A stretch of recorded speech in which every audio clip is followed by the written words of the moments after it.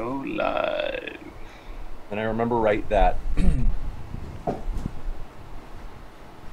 Daniel. Okay, I've uh, I've hit us. I've hit my my stream live. I've started my stream, so ready when you guys are.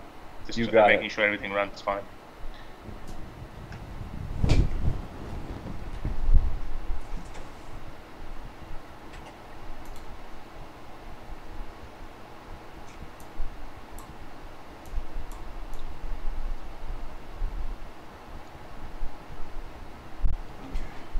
Okay, can everyone uh, in my chat, my stream hear? Sound is good? Hi. Hi, Daniel. Mic check. Mic check, Daniel. Sounds good. Sounds good. Why am I hearing myself? Do you happen to have a watch page of the event up anywhere? Like a, do you have a YouTube tab that is looking at your watch page? Ah, yes, I had the YouTube tab tab open. Okay, that's closed. So that's good. Sorry, that's embarrassing. No worries, happens all. Uh, the happens time. all the time. Right. Good. Great. I am uh, set over here, so I just we're backstage still, so they can't see us or hear us. But I have started the stream just to be sure that the connection is strong. And then, what I do at the very start, and just to be sure that I absolutely remember correctly, is if I remember. Let me just double check that way I don't. Uh, I keep your guys' faith. So format wise, I have Harris going first for the opening, and Oh, am I going first? Okay, good.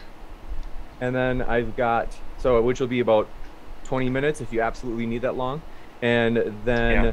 roughly 15 from Daniel, and then the hour back and forth segments with one less segment for Harris since the opening is extra long, and then one hour of open discussion after that, and then 30 minutes of Q and A. Perfect. Wait, who are, uh, for the Q and A? Are you going to just pick questions from the audience or uh, James? Yeah. Like, In the chat, people usually, when they tag me with at modern day debate, that's where the questions come from. So if they have two tabs open, like if they're watching both at your channel as well as at modern day debate, if they tag me at the modern day debate live stream, then I can, uh, then I'll see those questions. It's hard for me to monitor three chats though. No, no, that, uh, that's totally understandable. Or, uh, or how about how about um, if you if you just open my chat as well uh, later on? Obviously not now. Um, then you you'll have Daniel's, mine, and yourself, and then maybe just look at the. Uh, I don't know. It, you don't have to read everyone. Just pick randomly if you if you pick any question. Um, I could try. The only fair. challenge, the only challenge is that I have both. I, I have technically I have like a Twitch modern day debate chat that I monitor, and then the YouTube one, and then doing your guys's on top of it would be four. So like it's a little bit, it's a little bit hard for me to monitor all those for questions, but I can try my best. No, no, I, Well, it's, okay, well- like you'll get the questions in your chats, and then if there's no, literally no questions for me or no li- questions for Harris, then you can figure out what to ask us. But I think it'll be fine just to monitor your own stuff. yeah, you that's got fine. it. I'm, I'll I'm see okay what I with can that. do. I'll try to be flexible and let me just double check that the picture and everything's coming through smooth, and we'll be off to the races. Okay. So what I will do is I always do a cold open at the start where I'll say, "Hey everybody, today we're debating should we have human rights or Sharia law?" And we are starting right now. And then I'll say, "Hey, welcome everybody to Modern Day Debate." And we are going to hand it over to Harris for his opening statement. And I'll say, "Harris, the floor is all yours." And then both of you, like, feel free to, you know, in- introduce yourselves, and we'll give you a little extra time for that, like an extra minute if you need. That's totally cool. And I will throughout the debate mention that your links are in the description, as we want you guys to have plenty of exposure. And then, any last questions? Nah, let's get this underway. Cool. All right. Excited. So I'm going to kick it over in.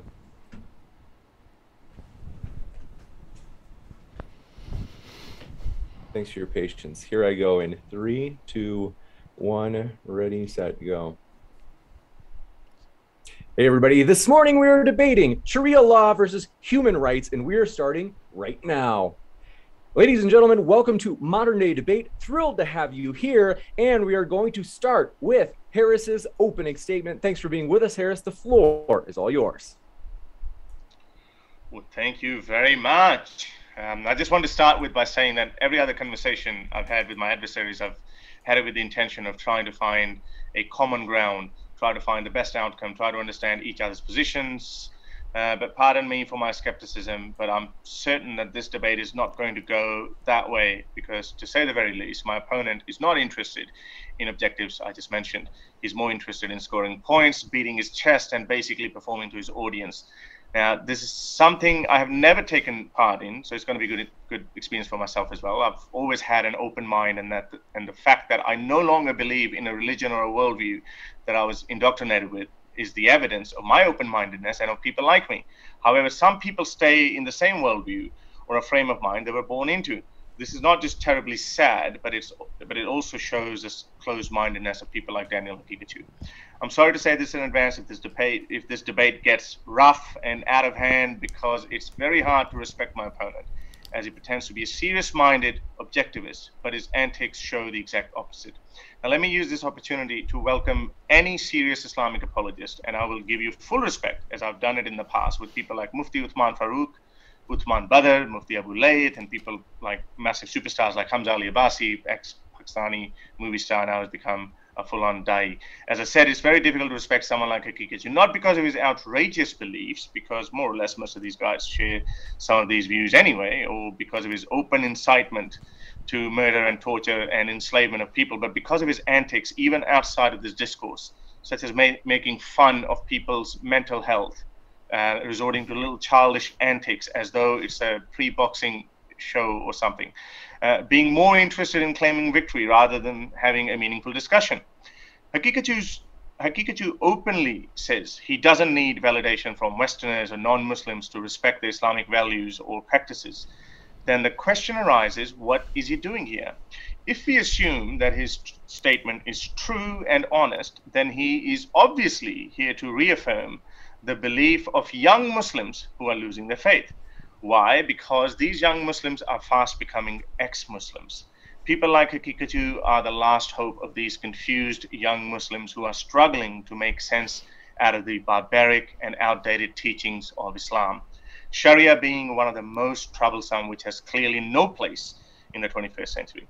As progress hits the Muslim countries, the birth rates go down, and as a result, the growth of Islam is likely to slow down by 2060. Pew survey shows Muslims produce 2.9 children per woman per woman. At the moment, however, it is likely to reduce as, let me quote Pew, the declining growth rate is due primarily to falling fertility rates in many Muslim majority countries. It said, noting the birth rate is falling as more Muslim women are educated, living standards rise, and rural people move to cities. I will put this uh, opening statement up on my website, and the link will be given for your reference. Um, I, on the other hand, have a totally different take. I want to reach out to Muslim youth. I do care what Muslims think of us. My whole activism doesn't rely on helping young secularists and atheists to hold on to the rope of atheistic faith. No, because once you become an atheist, you become a free thinker. You don't need Dawkins or Hitchens or me. You can think for yourself. And this is why I reach out to these young Muslims. I'm trying to educate them about the dangers of Sharia, the barbarity, and at the same time making them realize the value of human rights. Because Sharia is a totalitarian ideology, much like Chinese Communist Party or Kim Jong Un's Democratic Republic of North Korea. Acknowledging and respecting human rights will end up respecting you, your life, and that of your loved ones. It is by long shot the best deal you can have. After this debate, Haqiqatjou and his fanboys are likely to claim victory, as they always do, because if they don't do it, they feel that their faith is irrational, which obviously it is, and that is the reason why they have to claim victory. On the other hand, atheists, people supposedly on my side, will also nitpick some of my arguments and responses. Why? Because atheists are self critical. That is the beauty of it. So I don't judge the winners or losers by popular opinions of others, because in these cases, everyone vouches for their own guy, except atheists, of course. And I don't want them to change. The winner is determined by how many people are convinced by whose worldview.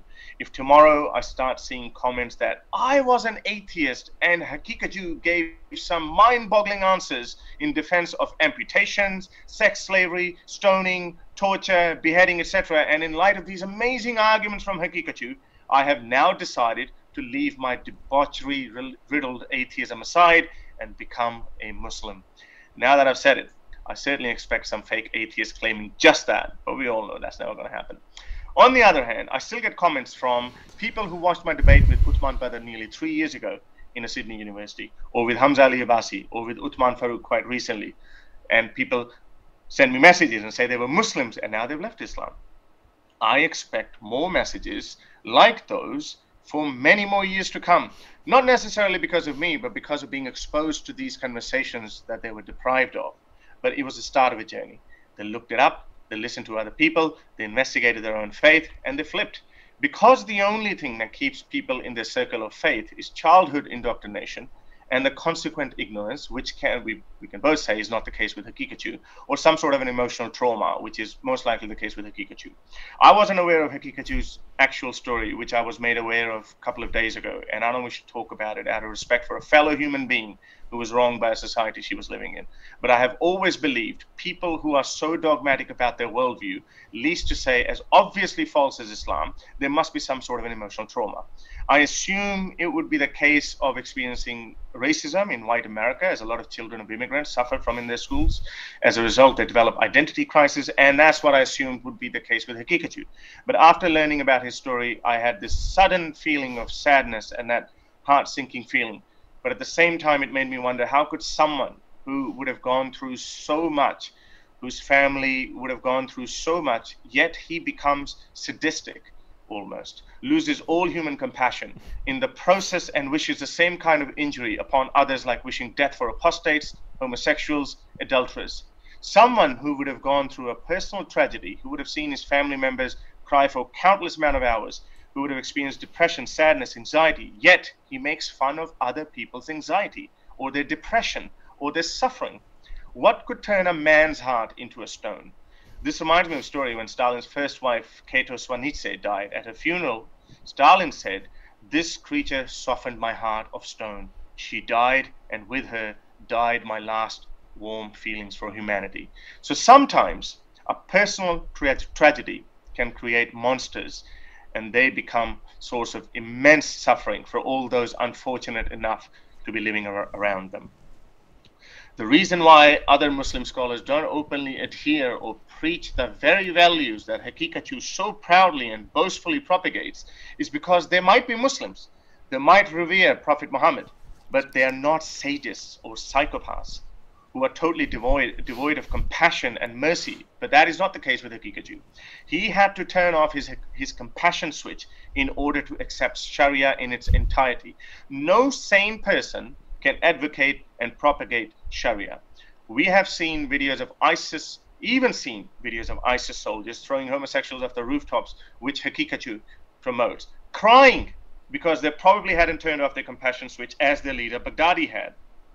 But just imagine for a moment. You find out tomorrow that I've been captured by the Taliban and they've executed me.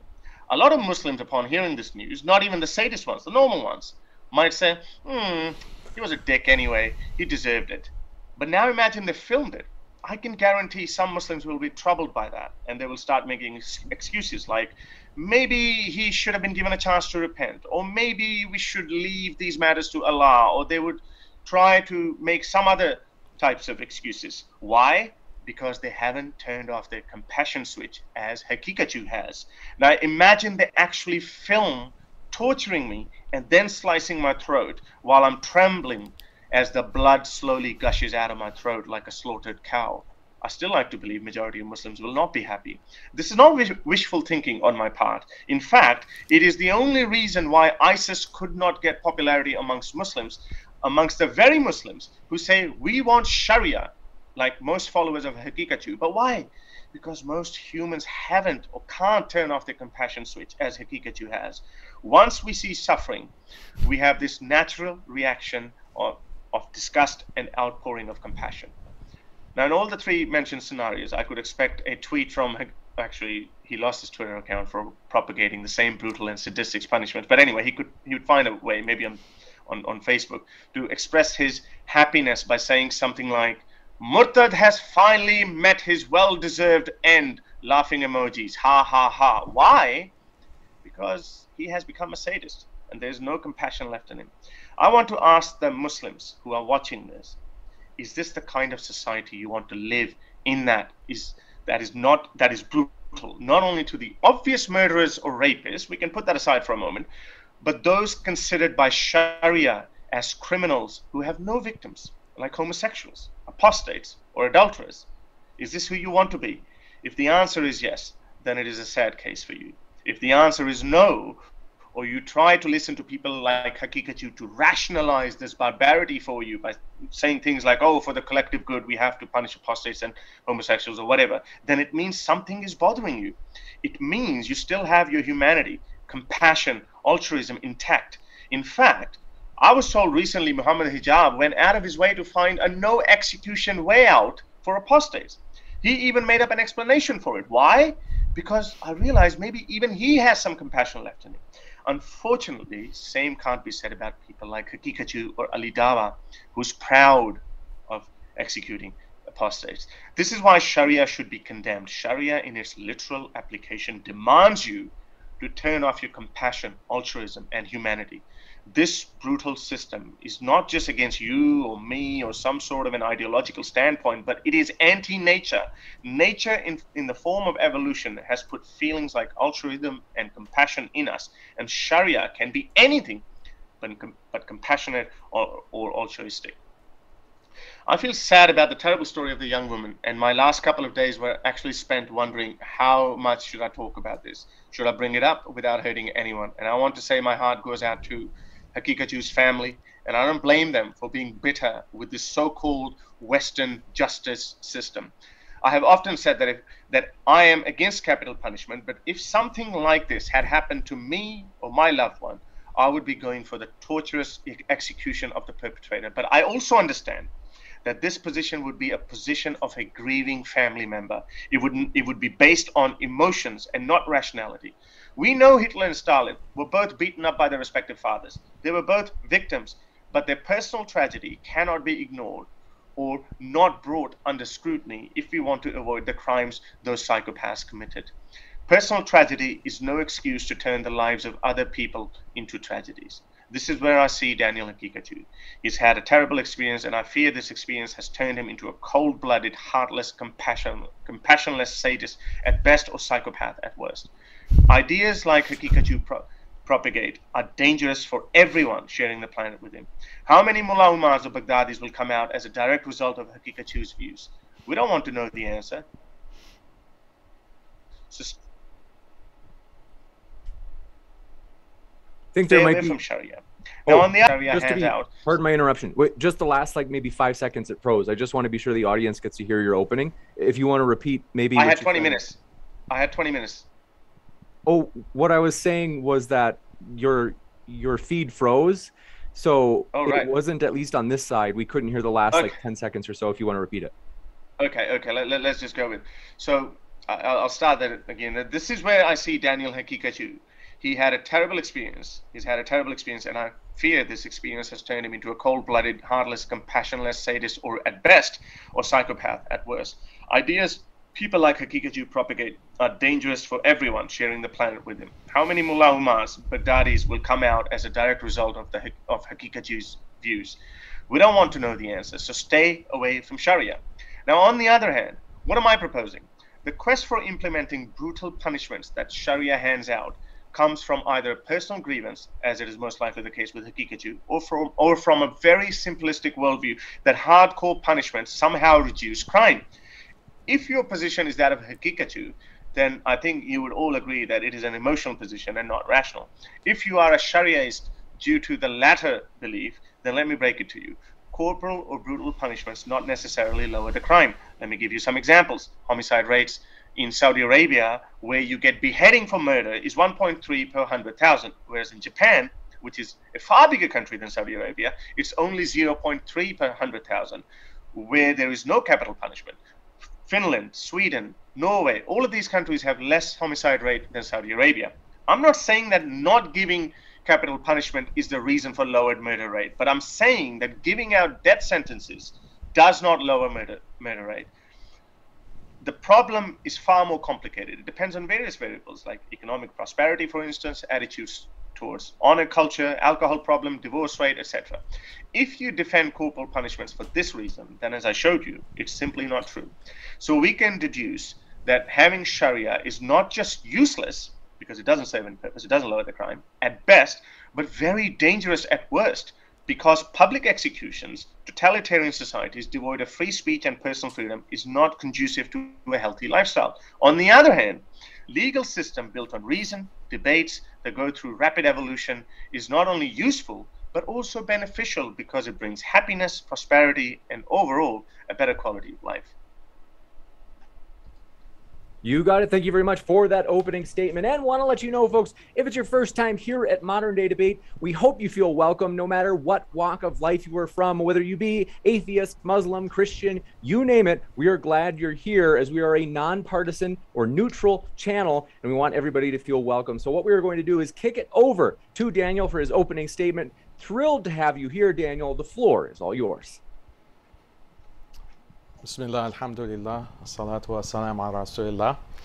Uh, thank you to Modern Day Debates for hosting, and thank you to everyone watching. Uh, the debate today is about Sharia versus human rights. Sharia just means Islamic law. Islamic law is not just corporal punishment, it's a holistic system of life that governs everything from how Muslims pray and worship, how they get married, to criminal punishments and even economic matters. My main point today is simple. Harris Sultan and other ex-Muslims are playing a con game. They're being dishonest with their audience and sometimes outright lying to them. Today I'm going to focus on three of their biggest lies. Lie number one, promoters of human rights like Harris claim human rights are a beacon of hope. Human rights are the mark of civilization and progress and everyone should adopt human rights. But is this true? Do human rights bring prosperity and progress? 192 out of 195 countries of the world have officially adopted the UN's Universal Declaration of Human Rights. That's 98% of all countries in the world. Do we see prosperity and progress in these countries? Let's look at the GDP per capita. North America is at $61,000 per capita. Western Europe is at $54,000 per capita. Australia and New Zealand are at about 55,000. These regions are at the top of the heap. It must be because they're so strong in terms of human rights and democracy, right? But let's compare that to Eastern Europe. Just $9,000 GDP per capita. Latin America is less than 7,400 dollars per capita. India, the world's largest democracy, is only at $2,000. Sub-Saharan Africa is at $1,000, uh, $1,500. For Muslim countries, the average G GDP per capita is $7,500. And if you exclude the oil-rich countries, the number is at $4,600. So when people want to say Muslim countries are economically behind because of lack of human rights, the reality is Muslim countries are at the same level as most of these human rights respecting countries. Why do countries like America, UK, Britain, Australia have 10 times, 20 times, 30 times the GDP per capita of countries in Latin America, Eastern Europe, Sub-Saharan Africa? Why this massive inequality? None of the countries in these regions are Muslim and all of them respect and abide by human rights. Consider Botswana, considered one of the oldest democracies in the Southern Hemisphere, one of the earliest adopters of LGBT rights in Africa, very high female involvement with voting and politics, but it has only one-tenth the GDP per capita of the US. Or consider Haiti. They ratified their secular constitution in 1805, over 200 years ago. They had a female president in 1990. Their GDP per capita is 150th the United States and on and on. On this other side of the coin, you have countries that have openly rejected human rights and democracy, like China, which has a GDP of $10,000, and Singapore, which has a GDP per capita of $65,000. So either way you look at it, there is no correlation between adoption of human rights and democracy with economic prosperity. Harris, you need to explain this. These countries that have nothing to do with Islam, that have adopted human rights and democracy and women's rights and LGBT rights, why are they stuck in abject poverty? Because you want to blame problems of poverty, problems of violence and social dysfunction on Islam.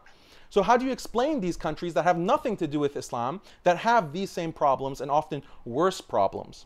Why is it that human rights only brings prosperity for North America and Western Europe and the majority of the rest of the world suffers? Better yet, explain why people living in human rights abiding democracies in Latin America, in Africa, are literally dying to migrate to America and Western Europe. Why are they risking their lives to escape their human rights hellholes, Harris? Explain that. And we don't have to just limit ourselves to GDP. Look at the life expectancy. Latin America, Eastern Europe, Sub Saharan Africans have 5 to 15 years lower life expectancy. Those countries also reported far lower happiness levels. According to the UN's 2017 World Happiness Report, according to self reported happiness, countries of North America and Western Europe have the highest levels of happiness, while Latin America, Sub Saharan Africa, and Eastern Europe have the lowest levels. So, why is this, Harris? None of these countries are Muslim countries. They're all democratic countries, secular countries. Some of them even have very high levels of atheism. So, why aren't they enjoying progress and prosperity?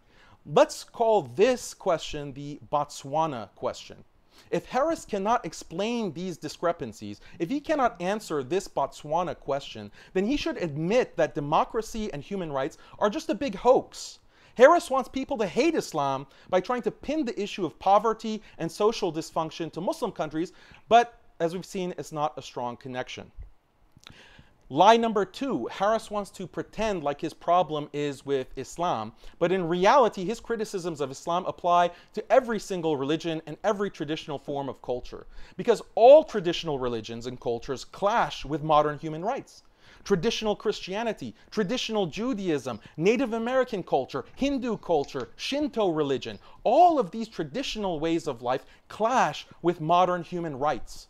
This is because human rights is an extremist ideology.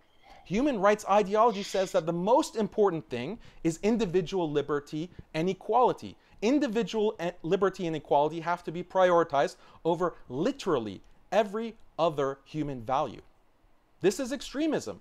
Every other traditional religion and life philosophy says no, individual liberty and equality have limits. Islamic law, for example, agrees with the human rights activists that, like Harris, that individual liberty and equality are beautiful values. For example, in Islam, you have the right to your wealth, to your property, your right to privacy, and so forth. Also, Islam provides legal equality between all people, men and women, Muslims and non Muslims, in certain, but not all, areas of the law.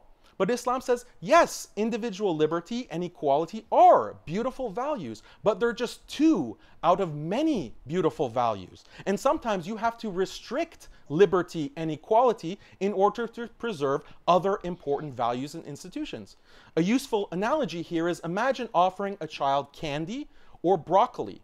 If it were up to the child, he would choose the candy every time. Eventually, the child would get diabetes and die. That's what human rights liberalism is like. It's just about giving the candy of individual liberty and saying that's all that matters. Islam says, look, there's nothing wrong with candy. In fact, we love candy. But if you only eat candy, you will die. You also need meat, dairy, vegetables, and carbs. As a simple example, in Islam, you can't have sex with whomever you want whenever you want. There are strict restrictions on premarital and extramarital relations, and the obvious benefit of this is that it ensures strong and stable marriages. This is because of human biology and natural human psychology. Islamic law perfectly accounts for human nature, and abiding by the Sharia has these clear benefits for marriage.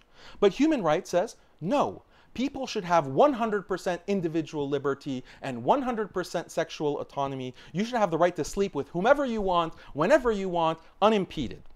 That may sound good to those who have been indoctrinated by this extremist ideology, but we have to ask what are the consequences of such a policy? Is a society that adopts unfettered sexual autonomy compatible with marriage, with love, with romance? Is it compatible with family? Well, we don't have to speculate.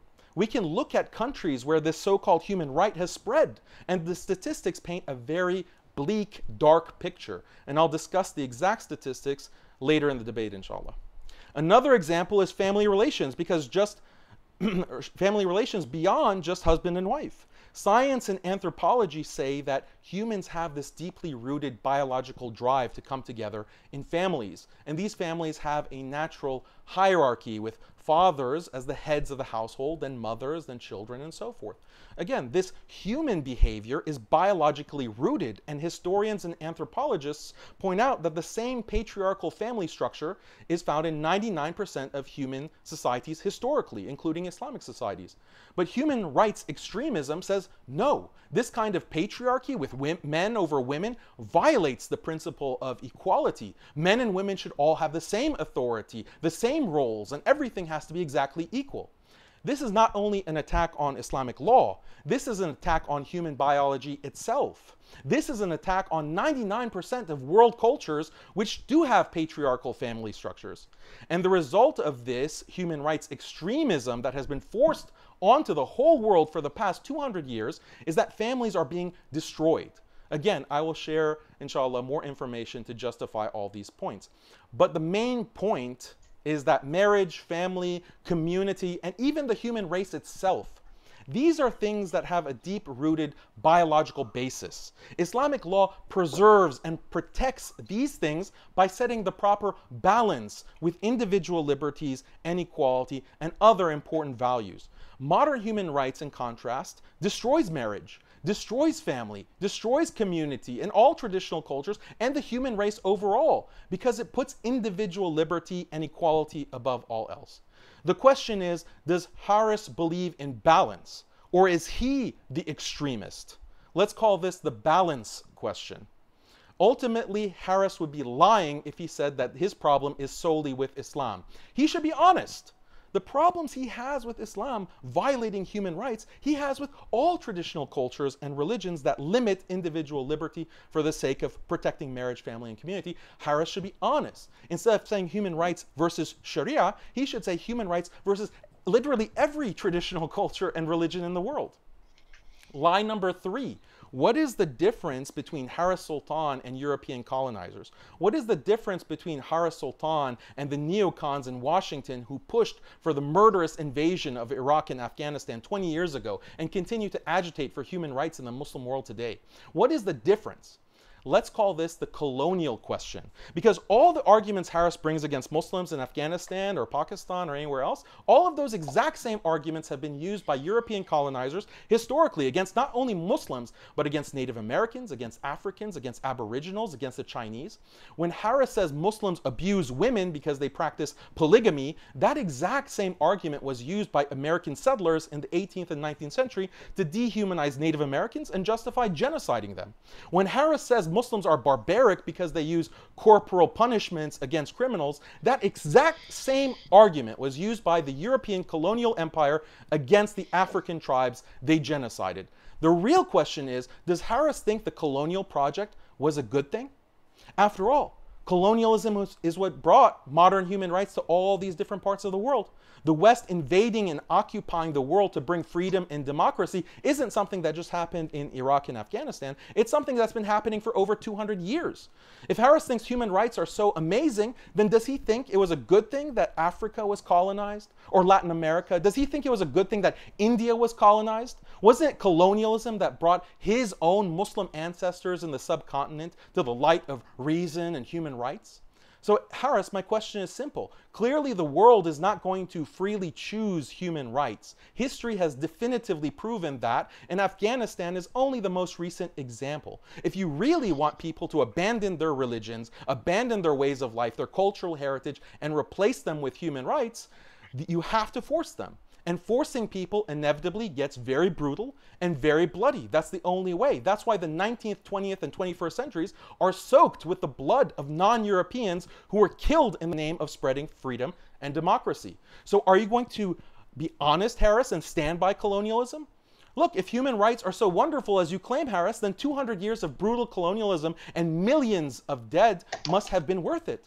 Why don't you own it, Harris? When you advocate human rights, you're like a chef that presents this appetizing sausage to your audience, but you aren't honest about how that sausage is made.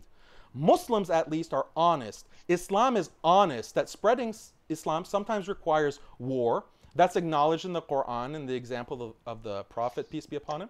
And I'm not equating Muslim conquest with European colonialism, by the way, because there are ma- major differences that we can talk about. For one, Euro American colonialism, past and present, is genocidal, and the death counts make that very clear. But my point is, you human rights activists are not honest. You don't own up to the true horrifying nature of spreading freedom and democracy. So, Harris, if human rights are so brilliant and fantastic, then be consistent. Tell us that the millions of deaths and the brutal occupations are worth it. You can't make an omelet without breaking a few eggs, right? So just own it. Stop pretending you're something you're not. You're just playing a con game. The only way you can credibly sell human rights to your audience is if you hide all these things or gloss over them. You hide the brutal history of human rights. You hide the fact that human rights destroys marriage, family, community, how it attacks every traditional way of life. You have to hide all these things because otherwise no one would buy it. And actually, it would make Islam look pretty good because Islam is fighting against these this human rights monster. But you can't be honest, can you, Harris? So just stop with this con game. Okay. Okay. We will jump into the next section, folks. Want to let you know, as mentioned, welcome to Modern Day Debate. If it's your first time here, we're a neutral platform. Our guests are linked in the description. So if you're listening, you're like, I want to hear more of Harris or I want to hear more of Daniel, you can hear more by clicking on their links in the description. And that includes on the podcast as we link our guests there as well. Now, for today's format, it's a little bit different. So we're going to have an hour of well, technically a little bit less than an hour of five minute segments from each speaker. So we'll be starting with Harris for five minutes, and then we'll go to Daniel for five minutes, and we'll keep rotating back and forth. I reckon I, re- I reckon you should start with Daniel with the first monologue because I've already lost mine, so that would put me like two behind. Oh, I was going to take yours off the end, but we could do that as well if you'd like. Yeah, uh, I think that would be better that way because That we, we can stay stay on top of what- what Daniel is saying, so I can respond to it. if Daniel is okay with that, I'm, I'm open to it. And then also want to let you know, folks, if you happen to have a question, feel free to tag me in the live chat with at Modern Day Debate. Makes it easier for me to see those questions as we'll have the Q and A at the end. But Daniel, if you're okay with it, you can start the five minute sections. It's up to you. Uh, let Harris go first because I can just extend a little bit my last two and just blend them together. Okay, All right. two all of right. us. Okay, see how nice I am, Daniel. What was that? Uh, I said, see how how nice I am. I've actually said yes to everything that you said so far. Yeah, I'm a sadist apparently, so you're very nice. Go ahead. Yeah, yeah I Oh, know. we'll give I'm not, I'm not seeing any minutes. emotions from you. Go ahead, Harris. which is good. All right, let's get to the, the next one then. Okay, so the proponents of Sharia base their argument on the claim that it is objective morality because it comes from the creator of the universe. Therefore, whatever he says is true, and by their definition, this is objective morality. We cannot understand why it is like that, but since he's saying it, therefore it is objective and inherently good. But when we scratch the surface and put it under the microscope of reason and logic, it is anything but objective in nature. So let's examine this claim. Objectivity means something that is absolutely true in its claim, regardless of conditions, feelings, or opinions. Basically, the opposite of subjectivity, which relies on interpretations, limited understanding, opinions, and is conditional. So I've thought about it for a very long time, and I'd like to see Daniel's view on that as well. If we are to take morality in this case called Sharia from an outside agent, in this case Allah, on the claim that is it is objectively good, then there are four options. Option one: Allah is only capable of giving out good commands. Consequently, He is incapable of giving out evil commands. If we assume this premise is correct, then indeed morality does become objective. I'll give you that. But it violates other claim traits of Allah Himself. For example, He is incapable of giving out evil commands, meaning He is not omnipotent. He's just a calculator. Like a calculator can can't tell you two plus two equals five. So we can trust Him.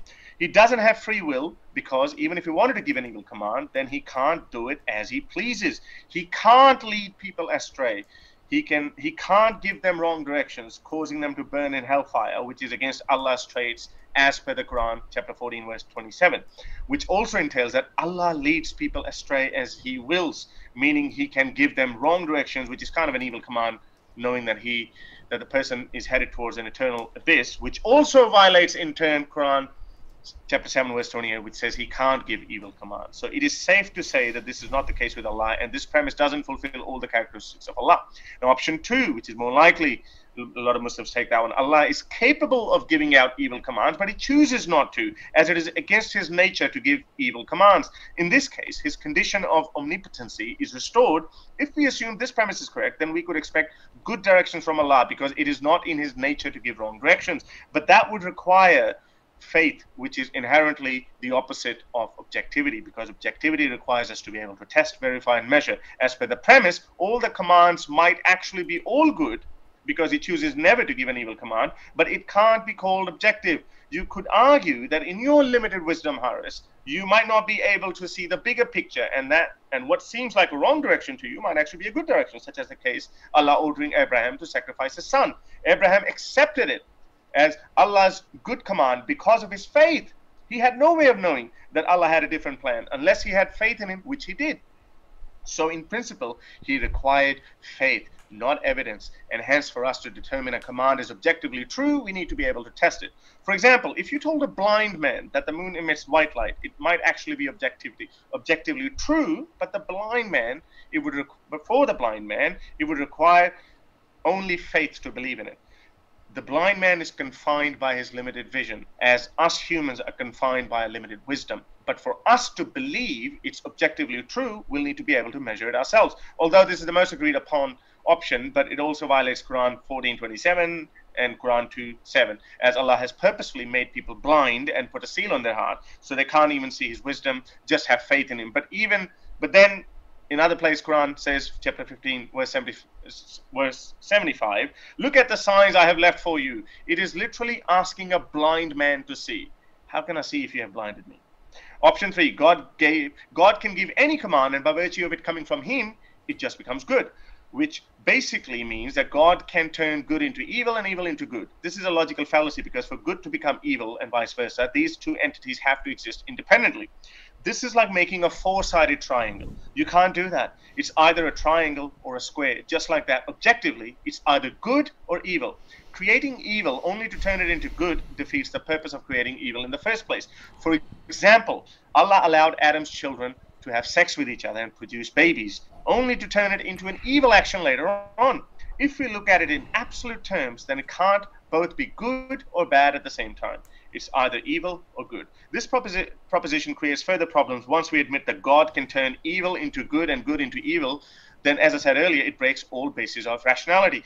Every other rational criticism of any other faith or proposition becomes irrational because anything can happen. I wonder why Muslims make fun of Christians with the concept of God is the Father and the Son. Um, if we assume God can violate basic fundamentals of reality, then he can be the Father and the Son at the same time, and Christian faith becomes perfectly irrational and rational at the same time. But Muslims don't buy that. This proposition also violates the Quran, as Allah Himself says in the Quran, chapter 7, verse 28.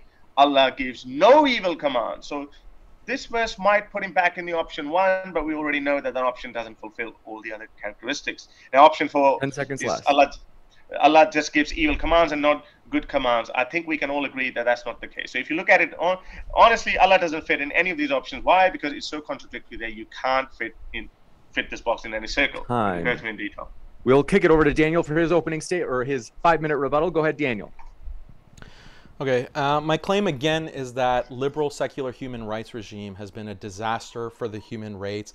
Uh, race. Note that in Harris's response, he didn't address any of my questions, so we're going to see if he's going to answer anything in this debate.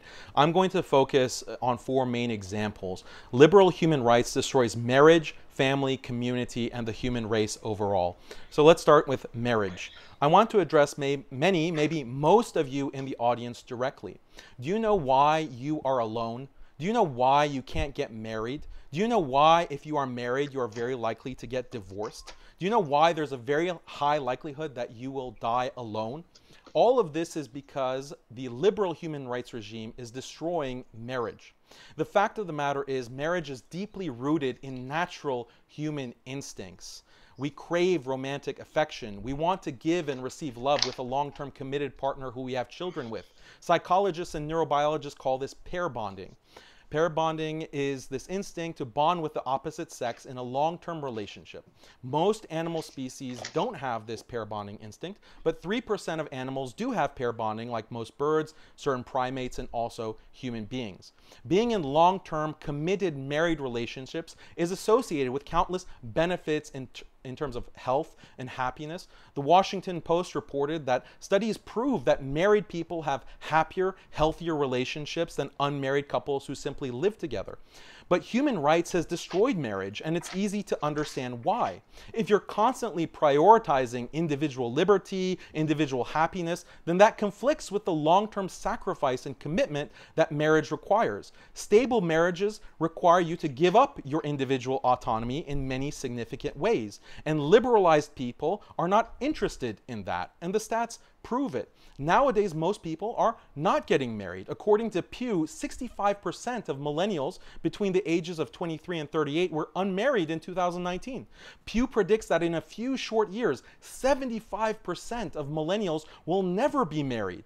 This will be an all time low, according to Pew. Now, you might think maybe people are not getting married, but they're still having long term unmarried relationships. Not true. According to the Washington Post and the General Social Survey, the share of U.S. adults reporting no sex in the past year reached an all time high in 2018, underscoring a three decade trend. About one in four adults did not have sex the whole year, and the numbers continue to increase every year in what experts call sex, uh, sex recession. In some countries like Denmark and Spain, governments have to literally beg their population to have sex. Now, if you're in the minority who does get married, then the likelihood that your marriage will end in divorce is very high if you live in liberal democracies. In the US, about 44% of marriages end in divorce. In France, 51%. In the UK, 42%. These stats don't even factor in long term separation between couples. If we counted that, the rates would be even higher. The likelihood your spouse will cheat on you is also very high in free liberal countries. Some studies have found that the infidelity rate is as high as 26% in some Western countries. Those people who do get married are also going to have lower quality marriages. Studies show that having multiple sex partners prior to marriage reduces marital quality. People are less satisfied with their spouse when they have been around the block a few times, literally. By the time people do get married in the West in their 30s or 40s, they have had so many failed past relationships that they're often emotionally damaged. The person you're marrying comes with all this baggage in addition to your own baggage. So the overall marital quality suffers. But Muslims, because of Islam and Sharia are on the opposite end of all this. Yes, modernity is affecting Muslims, unfortunately, but we're on the opposite end in terms of these stats. Numerous ethnographic studies of Muslim countries prove this. Muslims get married more, they get married younger, they have far lower levels of premarital and extramarital sex, they have lower divorce rates, and due to all of this, they have higher quality marriages, love, and romance. This is because of the rules in Islamic law that specify gender separation, hijab, and modesty restrictions on fornication and adultery, patriarchy and gender roles, family involvement in marriage, and so forth. These are rules the liberal human rights regime considers backwards and misogynistic, but these are the same exact rules that save Muslim marriages from the destruction that Western society is suffering from. So Harris can give this abstract discussion of objective good versus evil, but marriage and love is something that humans all value. And I'm citing stats, I'm citing studies that everyone everyone can agree with and everyone feels viscerally because that's human nature. Thank you very much. We'll kick it over to Harris for his five minute rebuttal as well. Okay, if someone claimed that he's all wise and knows about the past and the future and always has the right answer, you would expect him to give you an absolutely complete and true statement every time he utters a sentence. This is a claim of Quran of the Quran as well. That's a perfect expectation, and Allah claims to be just that. Is he all knowing, as it is said in the Quran, chapter 31, verse 34, or in the Bukhari 318? He already knows what's going to happen later today, tomorrow, and a million years into the future. If he does, then why does he changes why does he change his statements all the time, or at least completes them, implying his first statement was either incomplete or unclear, which is against his claim of it being a clear book, as Quran chapter, chapter 5, verse 15. For example, Allah, which is Muhammad, says in Quran chapter 4, verse 95, Not equal are those believers remaining at home and the mujahideen who strive and fight in the cause of Allah with their wealth and their lives. This is actually for you. Not equal are those believers who, remaining at home and the mujahideen who, who strive and fight. Allah had given his absolutely true statement for all times, and everyone who hadn't been able to join jihad for right or wrong reasons would have been condemned to eternal hellfire or at least social humiliation. But luckily, by sheer coincidence, a blind man happened to be sitting there who overhears Muhammad dictating this verse to his scribe, and he says, But, oh, Prophet, what about me? If I was capable, then I would have joined the jihad.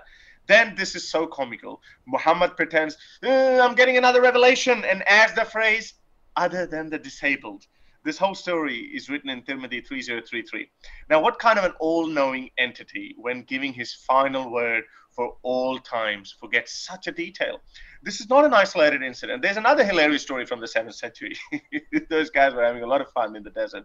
For example, when Allah was explaining in Quran 2, chapter 2, verse 187, how you should fast in the month of Ramadan. He tries to be poetic and didn't realize how much confusion it would create later on. He said, Eat until the white thread becomes distinguishable from the black thread. So, so those geniuses over there started putting white and black threads on their legs, and they would eat until it's bright enough that they could tell them apart. Allah was like, Jesus. and then he added the word Al Fajr, meaning dawn. Now, this story is also written in Bukhari 4511. Did the all knowing God not know this? You would be forgiven if a man made the make, makes that statement because, yes, he might not have anticipated it, but an all knowing God must have known this. These are very basics. Allah was making um, even a moderately skilled author like Haqiqatjou would probably not make that mistake because we know when we write something, we anticipate how the other side might interpret it or how they will counteract it. This happens in our case all the time because we don't claim that we know everything. We write a solution, we do our best, and when a situation arises, we adapt and change accordingly. But the claimant of of all the knowledge doesn't have this luxury. This all knowing God is either a cunning liar or not so wise, as he says in Quran 109.6. For you is your religion, for me is mine. If you took it on face value, you'd be like, okay, that's a reasonable offer. But when they came to power, everyone had to either convert to Islam or be exiled. In the Quran, chapter 2, verse 62, Allah, in, in His all wisdom, says Jews, Christians, and Sabians can go to heaven, need not to worry. But when Muhammad realizes he can achieve a lot more, he abrogates it and says in the Quran 385, as only Muslims can go to Jannah, non Muslims will be the losers. Moreover, how many other verses there are where not only ordinary people, but learning, learned scholars of Islam disagree with each other, but they don't have the luxury of a prophet running around who could instantly get a text message from Allah, like in the case of a blind man, who could tell us, oh, no, no, no, this is not what I meant, this is what I meant. And Allah knew this problem. This is why in Quran chapter 5, verse 19, He said, I am sending you another prophet, so you don't complain, where is our prophet? Well, I'm still complaining. Where's our prophet, Allah? Well, we need another prophet too, because there is so much confusion in the understanding, in understanding Allah's verses, like how much is too much, wife beating, for example. Thank you very much for that five minute rebuttal. We'll kick it over to Daniel for his five minute rebuttal as well. Yeah, so Harris, uh, it looks like you're gish galloping. You're just giving all of these random points. Like, can you just specify something that you want me to respond to? It seems like you're just rambling. You know, the topic of the debate is Sharia and human rights, and you're just bringing all these different theological issues. So try to focus. From, I gave you. From Sharia. Don't interrupt me. You have specific questions that I gave you clearly that you can respond to on human rights, but you're just bringing up all of these random topics. So on the issue of um, family, look, I'm bringing objective arguments. Unless you want to say that family is not valuable or marriage is not valuable, okay? But otherwise, family and marriage and love, these are valuable things. Objectively, all humans agree. Is living in a strong, stable family with mother, father, grandparents, uncles, and aunts a human right? The vast majority of human beings throughout history and today have lived in these extended families, and countless studies show the psychological and social, sociological benefits of living in strong, stable kinship groups. Other studies show that not having family or living in broken families is associated with with higher crime, higher depression, higher drug use, higher suicide rate, higher mental health problems, and so forth. Again, it's easy to understand how emphasis on individual liberty and equality above all else is antithetical to objective family value. Family often requires you to sacrifice your own personal desires for the benefit of kith and kin. Taking care of children or taking care of the elderly are significant burdens. If you constantly tell people that maximum freedom is the most important thing above all else, it's no surprise that people will choose self interest over family again and again. And eventually, the institution of family will die off, which presumably you think is a bad thing, Harris. You might even you might have even heard this anecdotally from friends who say bluntly, I have my own dreams and ambitions. I can't waste time on children or my parents. This is the anti family sentiment that has spread like cancer in the modern world, and it's because of prioritizing individual liberty. And all the stats, again, prove it. Just look at average household size. For example, according to Pew, North America and Europe have the smallest average household sizes, whereas the Muslim world has double the household sizes of the, of the West. Uh, Pew Research also shows that living alone is more common in wealthier countries, especially North America and Western Europe. Fertility rates are plummeting throughout the modern world. UN report shows that uh, Europe, in Europe, the fertility rate is below replacement, only 1.6 child per woman. Um, the same thing in North America below replacement levels, but Muslim world, it's double or triple those fertility rates. This uh, another metric that represents the death of family is the rise of single-parent households. According to Pew, in the U.S., about one in four children are in single-parent households. In the U.K., one in five, and these numbers have dramatically increased over the past 50 years. What this means is that even the very few children that are being born in the developed world live with a single parent, usually the mom, and she, of course, has to work to make ends meet. So this is not even the nuclear family. Forget about extended family. Even the nuclear family has been destroyed in the modern West. What this means is that realistically, a high percent of, the, of children in the West don't have any family to speak of. No father, no siblings, no grandparents, no cousins surrounding them.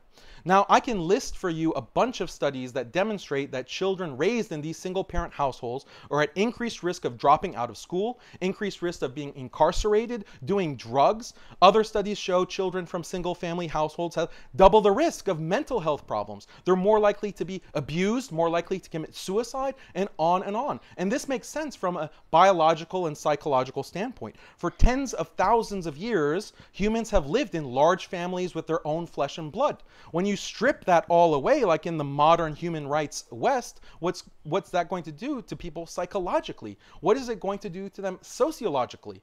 Again, we see Muslims at the opposite end of the spectrum with all of these stats, and this is because of the rules in Islamic law, rules that specify parental rights, known as bir al-walidain, being good to parents, emphasized by, emphasis by the Prophet, peace be upon him, on fertility and having big families, emphasis on kinship rights and duties known as silat al-rahim, emphasis on getting married young, emphasis on taking care of elderly family members, not just dumping him in a nursing home, as is increasingly common throughout the West.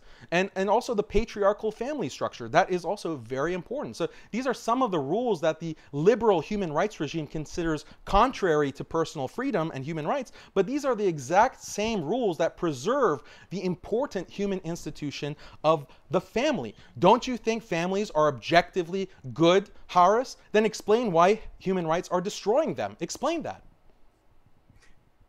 We are going to kick it over to the five minute response from Harris. And I want to remind you, our guests are linked in the description, folks. Go ahead, Harris. Right. So um, you've obviously got a script that you're stuck to, and this is why we have to talk when, uh, when when the actual discussion starts. But so far, you haven't responded to any of my responses because you haven't spoken anything. You haven't said anything about Sharia. You have don't interrupt. You haven't said anything about Sharia. I've spoken about your claim is Sharia is objective, and I've laid the argument against how it is not objective, and you haven't said anything yet. Um, uh, so let's just keep digging further into Sharia. And the, the problems that you're pointing out, some are valid, some are not valid. But either way, you make a mistake, claiming that Sharia is somehow the solution. And this is what I'm exposing right now. Sharia is not a solution. So let's talk about the elephant in the room. I'm talking about slavery, which you are a massive proponent of. As I said earlier, not all Muslims have turned off their compassion switch and they go out of their ways to make excuses, such as how Islam promoted compassion, that it set in motion the world where slavery will eventually be abolished. Yes, it's a completely fabricated claim. I agree with you on that. But at least I can understand that they're trying to keep their humanity intact. In fact, this is the same claim modern day Judeo Christian apologists make as well. But you, Haqiqatjou, don't take that approach because once you have lost all compassion and humanity, it it's easier to become a literalist because Quran literally advocates cruel practices like slavery. I wouldn't go into the mainstream slavery, the idea of treating human beings as commodity. That's just that's just okay for you, yeah? I'm particularly troubled by sex slavery. Islam and Sharia literally allow you to go to a neighboring village, kill their men, and take their women as sex slaves who would clean your house at day and do other things at night does this not send shivers down your spine? Is this a solution that you were just offering about the what human rights, what uh, the, core family is destroyed or something, and this is the alternative that you're offering?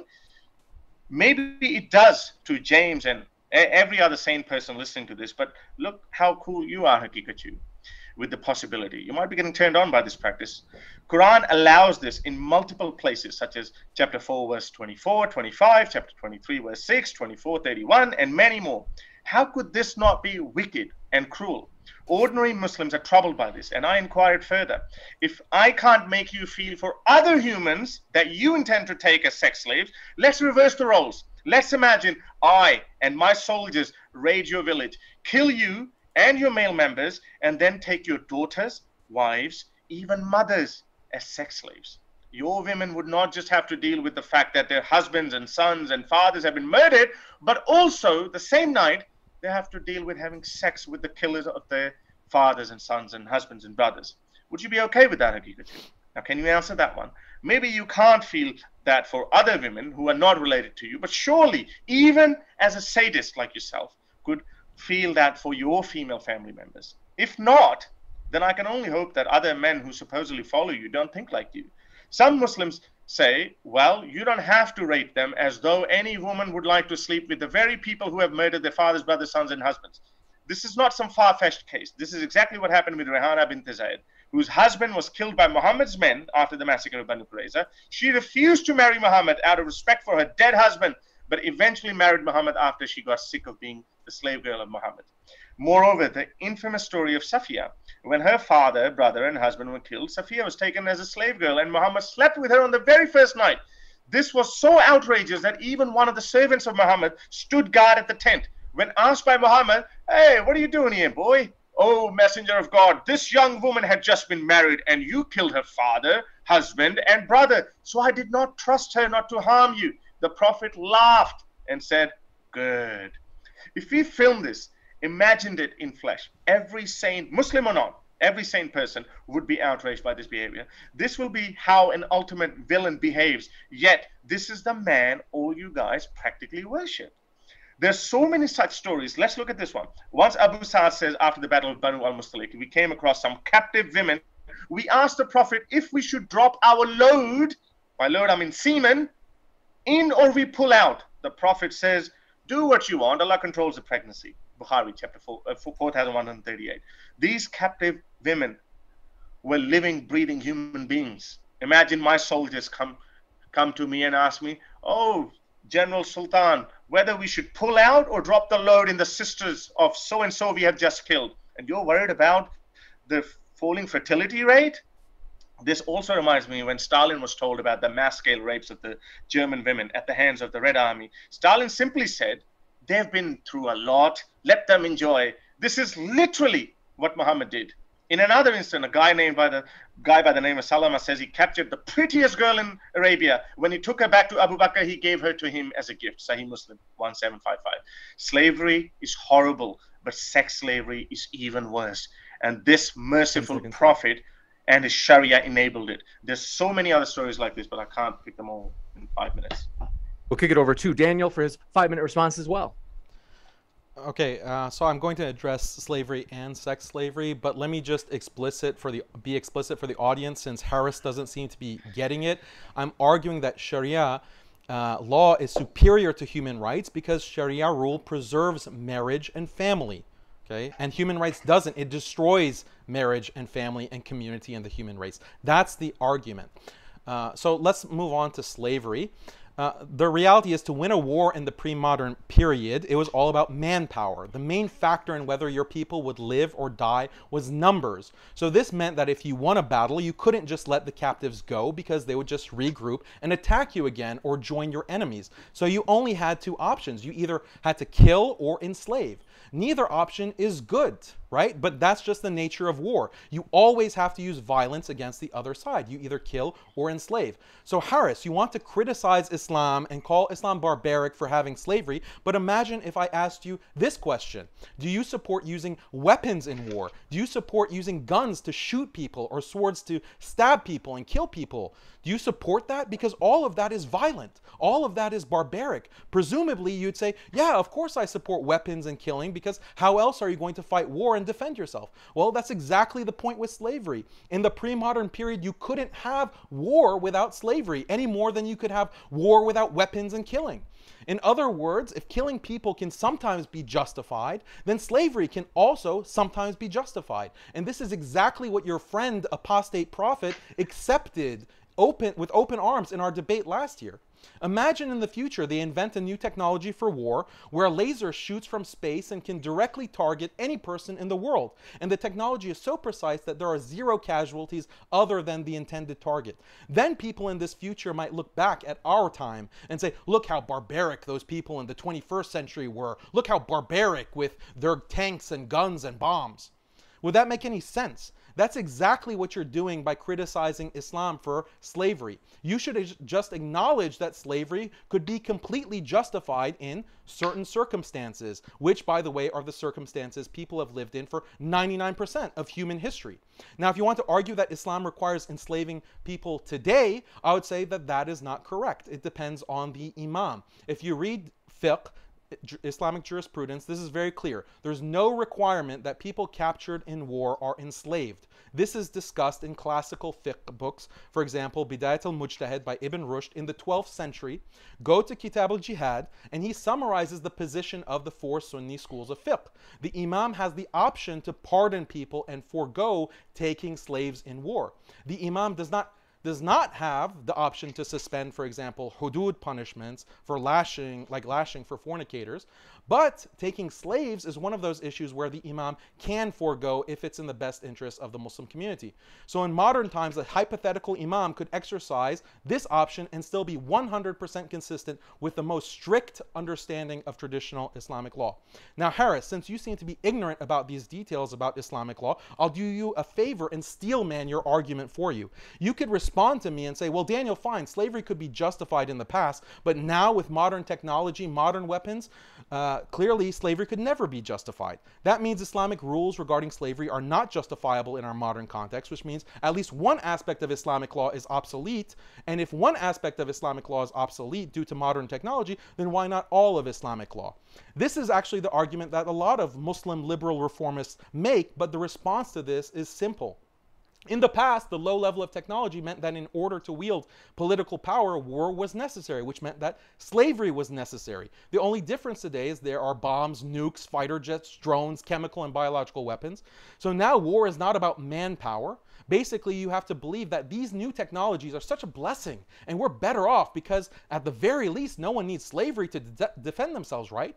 We live in a world of nukes and drones and weapons of mass destruction, so slavery is no longer needed. So the question is is this actually a better world? Well, the harms associated with modern technologies like nukes and drones and mass surveillance, and you can't go to the bathroom without security agencies constantly monitoring your every move and every communication, these harms are far, far greater than the harms that existed in Islamic slavery. Frankly, these modern technologies are more terrifying. We have to look at the whole package. Which is the better world? One with the constant threat of nukes, nuclear annihilation, and constant terrorizing of the world's poor people with trillion dollar weapons programs? Let's ask the uh, people of Nagasaki and Hiroshima, or the Vietnamese children with horrifying birth defects because of chemical weapons like Agent Orange. Let's ask the Palestinian and Syrian, Syrian refugees or children who are being burned alive with white phosphorus. In light of these modern technological horrors, the practice of Islamic slavery actually seems a far better alternative in the context of war,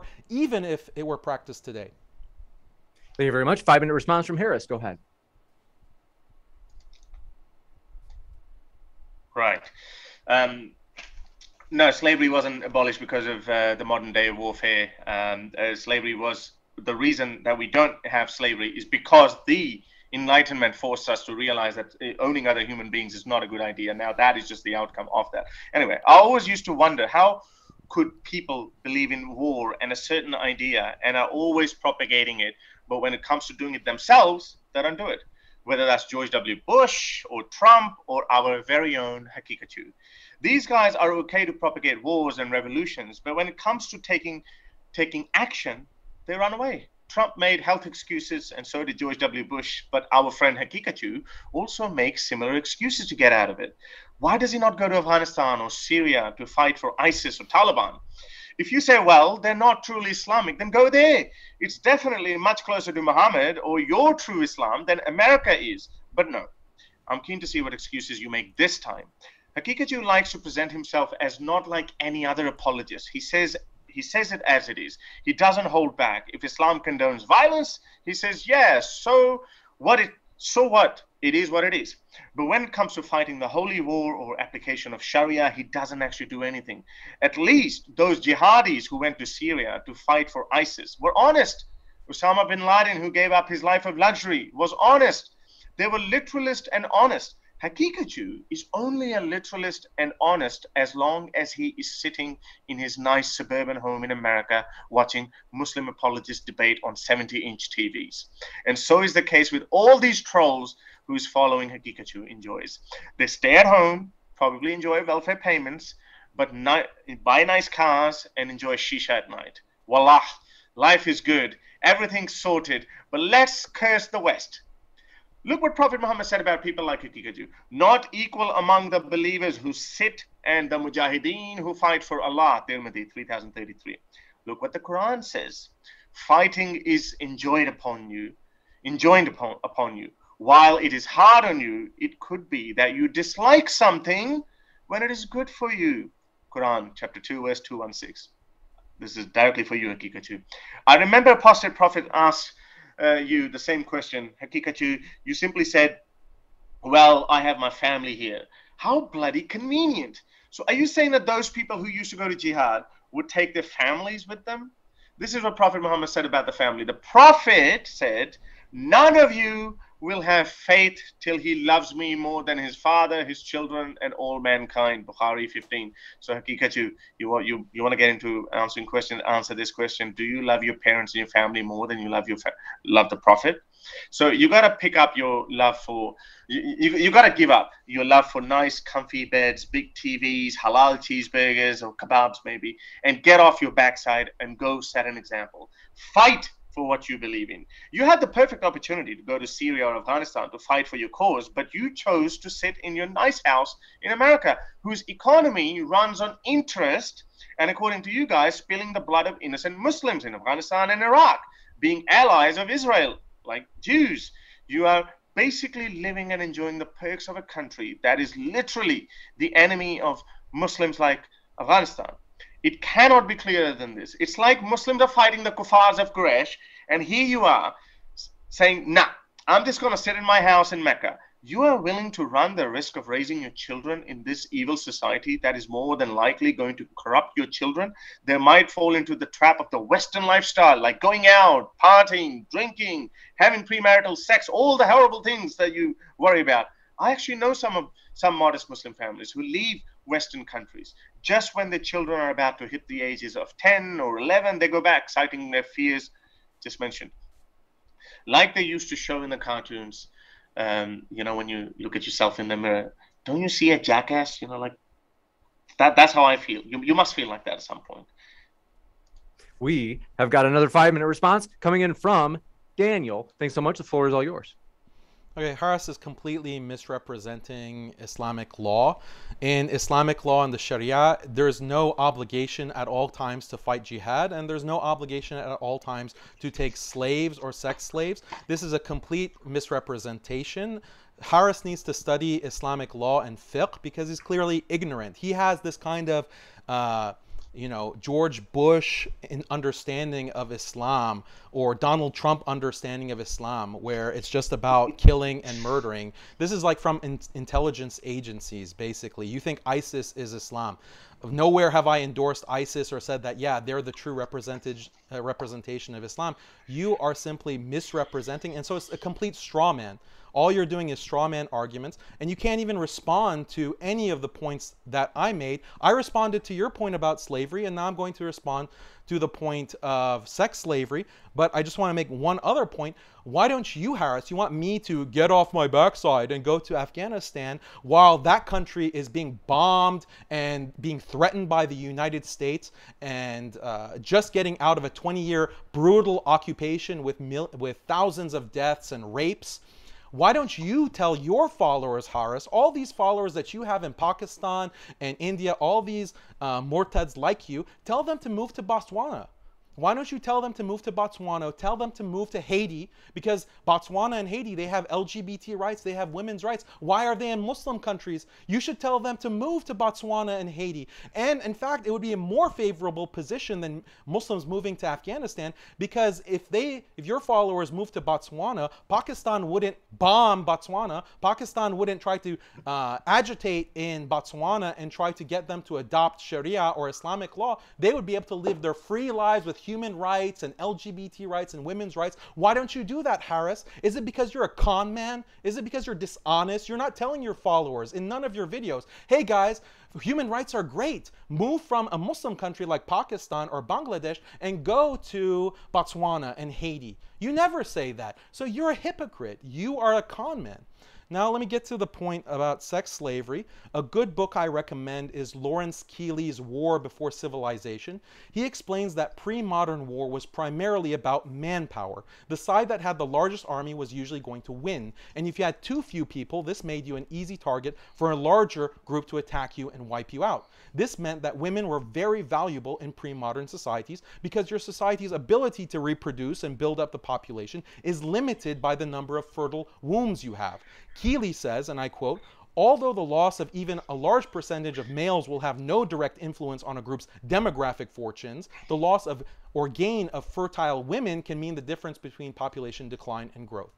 This is why Keeley argues all pre modern civilizations took sex slaves. Again, this was a necessary aspect of war. If you did not take concubines, you were at a major disadvantage militarily because you either take concubines or your people get wiped off the face of the earth. There is no third option. So, given that stark reality, yes, taking sex slaves was not only morally justified, it was morally necessary. And really, that's enough for the argument, but it's worth noting that the Sharia's rules on concubines and slaves in general are the most humane out of any other civilization. Again, slavery is not supposed to be a fun time, but Islam explicitly gives slaves many rights. They can't be mutilated, they can't be killed, they can't be prostituted. For women, if she gives birth to her master's baby, the baby is free, and she also is freed automatically when her master dies. These rules ensured that captured slaves very quickly integrated within larger Islamic society, especially after one or two generations.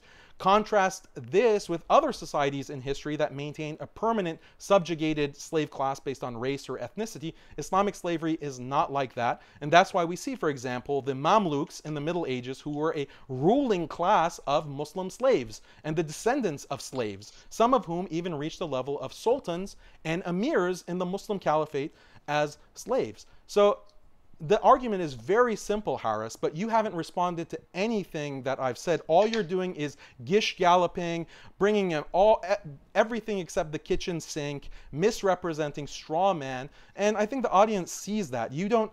I have a very simple argument. Sharia preserves marriage and family and community and the human race overall, and I'm bringing statistics, objective statistics that if you think that family and marriage is not valuable, then then say that. Say that you don't think it's valuable, so we know.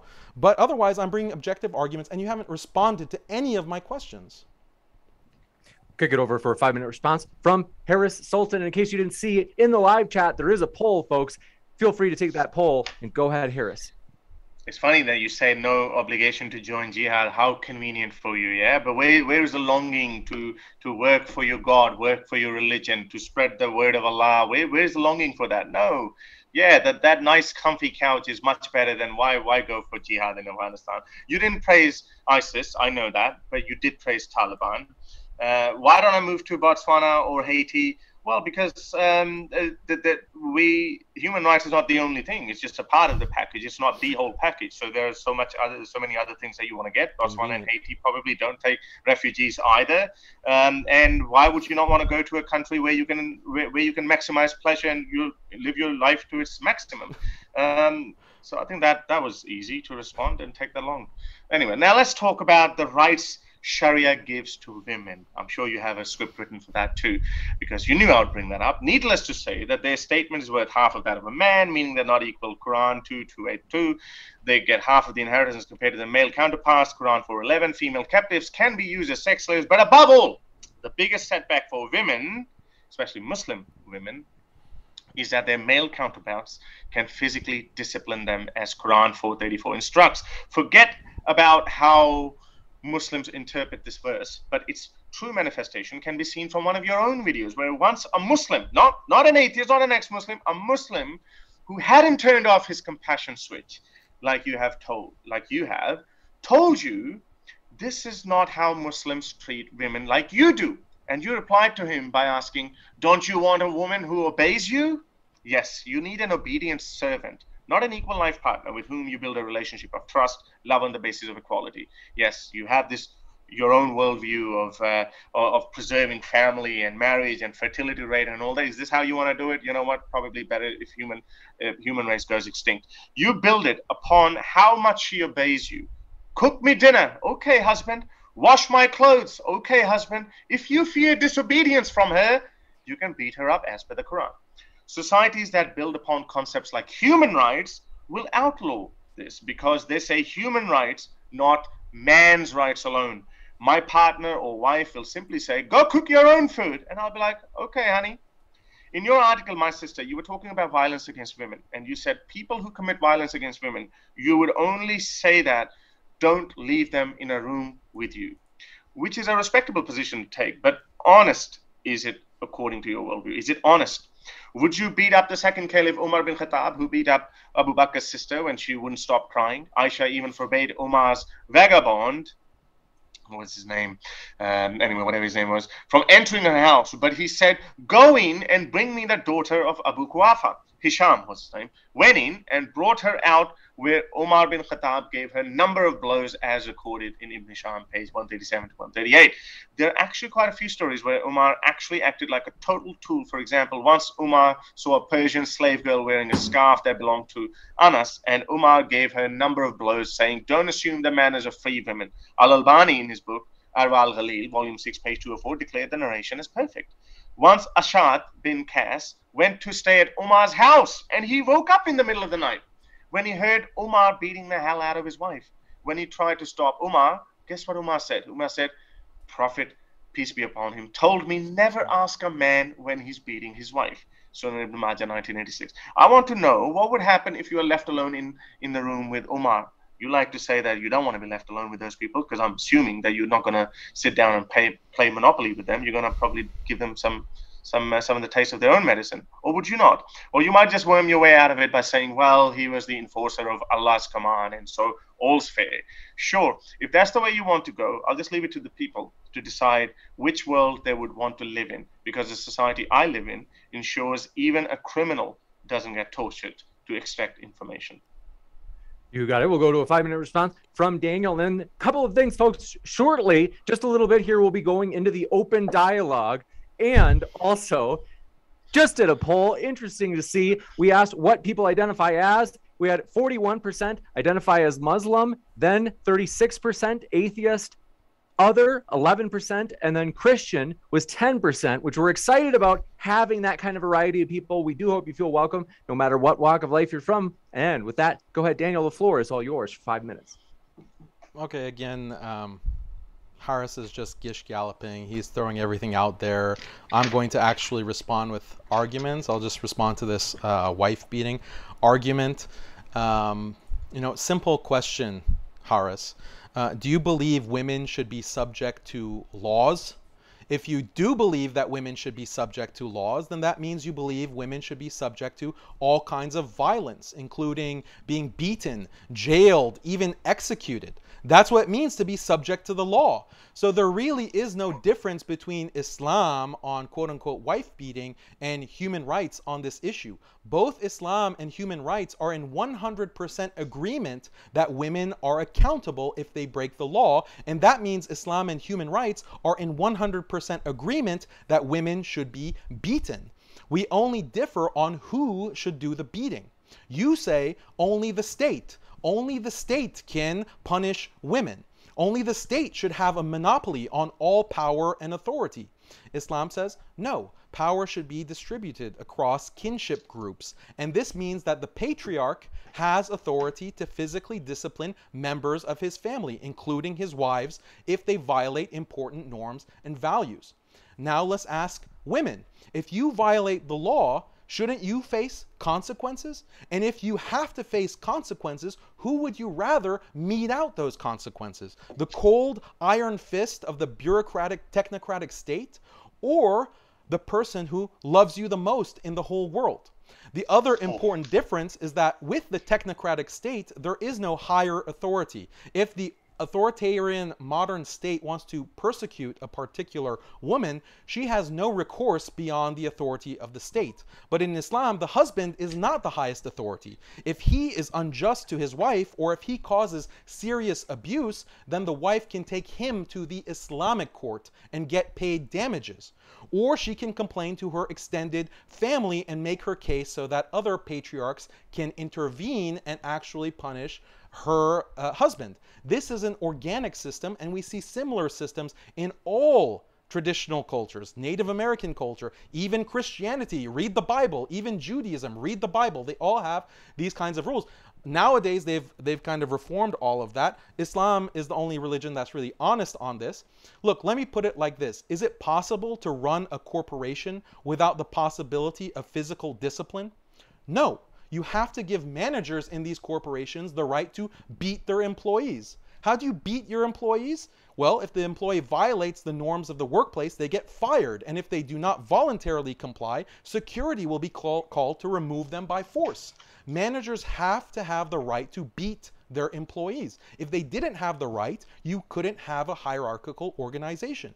Islam recognizes this about family patriarchy is hardwired into our DNA.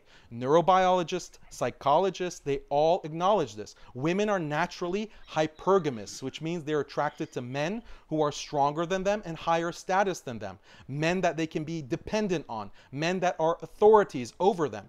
If you take out the patriarchy, this actually significantly reduces female attraction to their husbands. And they have studies on this where they ask women if they are more attracted to the macho man patriarch or a man who is at their same level in terms of size, strength, and status. And all women, including the hardcore feminists, prefer the higher status male.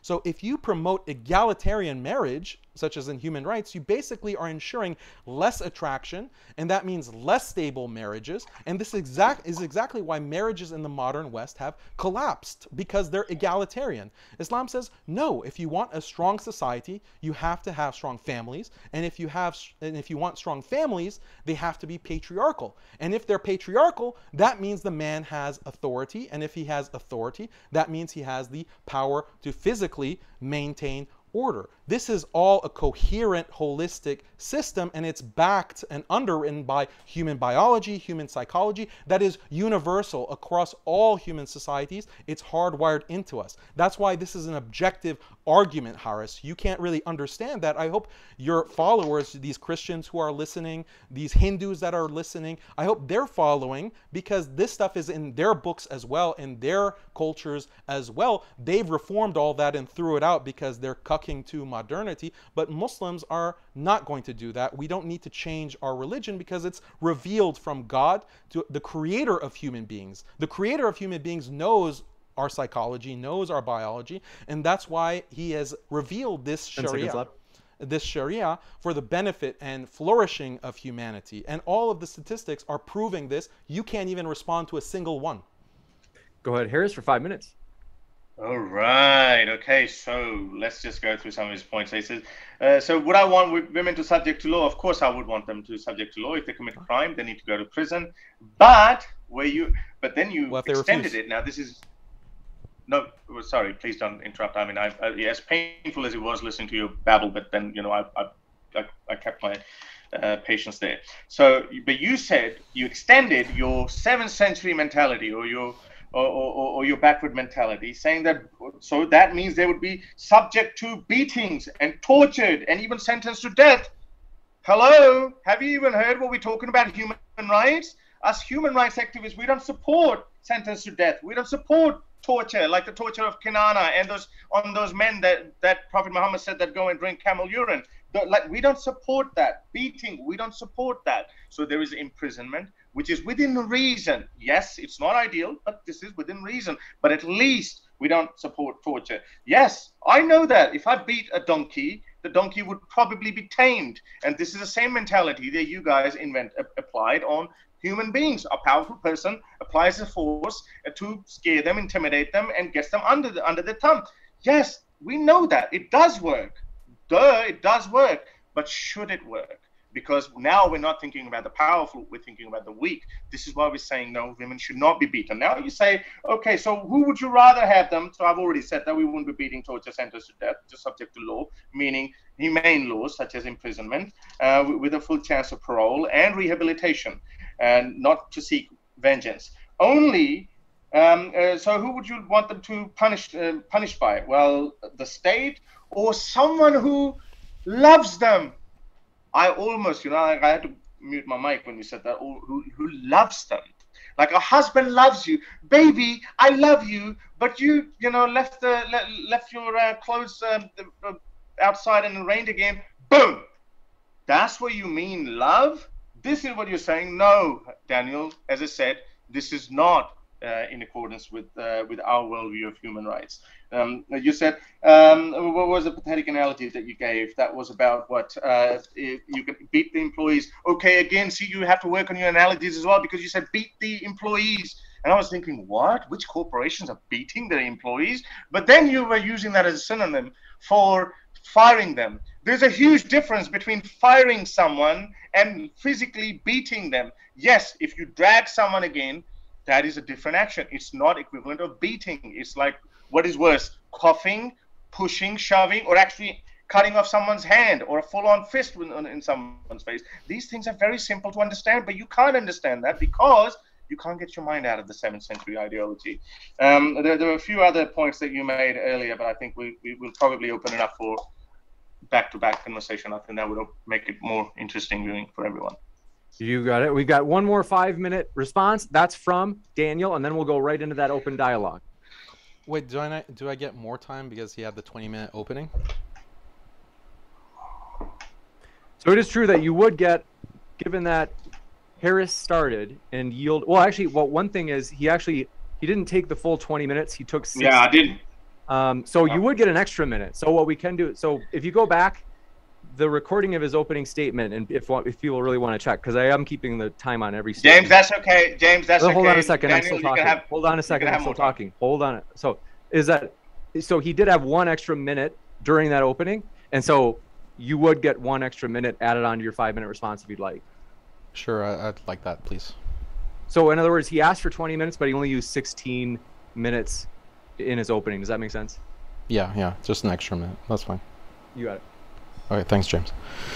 Uh, okay, so first of all, Harris is saying that the state doesn't torture and abuse people. Hello, didn't you hear all of that statements I made about colonialism? How the state is genociding people, torturing people, raping women. The state powers, the human rights nations that you're defending in this whole debate, Harris, have raped how many women, have imprisoned how many women, have tortured through solitary confinement and war- waterboarding how many women? Okay? So you are a totalitarian because you only trust the state to have this kind of power. In Islam, men can't uh, uh, torture their wives. In Islam, men can't, according to the Sharia, men cannot, you know, even physically hurt their wives in, in a permanent kind of way. And you're, you don't, it's clear that you don't understand the employee employer example because in most cases the employee if the employer says your manager says do this uh, you are part of an organization there's a hierarchy and there's a relationship between the manager and the employee. So the manager says you know we need to get this done and everyone works together. There's no need to call security and physically remove right, by force and use a nightstick or a gun or a taser to remove employees. Similarly, in Islamic law, uh, that that kind of thing doesn't happen. It only happens rarely, rare uh, as rare as it would be for these corporations to physically remove and taser their employees. So this there's complete parallel here between any because you have to have uh, the ability to enforce uh, structure and norms with any hierarchical organization. And Islam is just saying that families have that kind of authority and the patriarch has that kind of authority. It's not unfettered authority, it's not unchecked authority, but he has that in the same way that many institutions, hierarchical institutions in the modern world West, human rights respecting West, they have those kinds of authorities and the right to beat people as well. The only difference is you think that only the state, only the totalitarian, bureaucratic, technocratic state should have those kinds of rights. So th there's not really a substantive difference there, and we can talk about it more if you need more explanation. But um, look, I just want to emphasize, we have seen how the extremist liberal doctrine of individual liberty at all costs threatens marriage, family, community. But really, this extremism threatens the very nature of humanity itself. Through the use of technology, modern liberal states now claim that people have the right to change their gender. If you don't want to be one gender, you can use technology to change it. Even children as young as three should have this option, according to the gender and sexu sexuality experts who operate at the highest levels of academia in the Western world and government. But even beyond gender, people are now given the choice to change their species. Some people feel that they're not actually human, but they're actually cats or dogs deep down inside. Nowadays, certain surgeries can be used to physically alter bodies to transition people to their desired appearance. This is what philosophers like Yuval Harari call transhumanism. But gender and species transition is just the tip of the iceberg. You think they're going to stop with gender transition for kindergartners? No, no, no. They're just getting started. Imagine this human rights argument. When babies are born with a certain set of genitalia that could negatively that could negatively impact their gender identity later on. We need to make sure to genetically alter all fetuses so that everyone is born with without any particular set of genitalia. That way everyone can choose their gender more easily and seamlessly when they're older. That's in line with maximum liberty and maximum equality.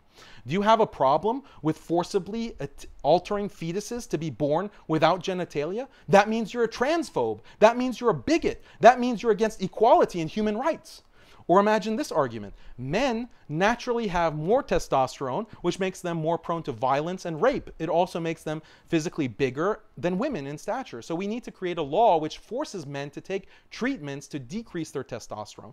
Ideally, babies can be genetically modified so that everyone is born with the same exact amount of testosterone. That way we can eliminate rape, we can eliminate domestic violence, and also make, make men equal to women in terms of physical size and strength.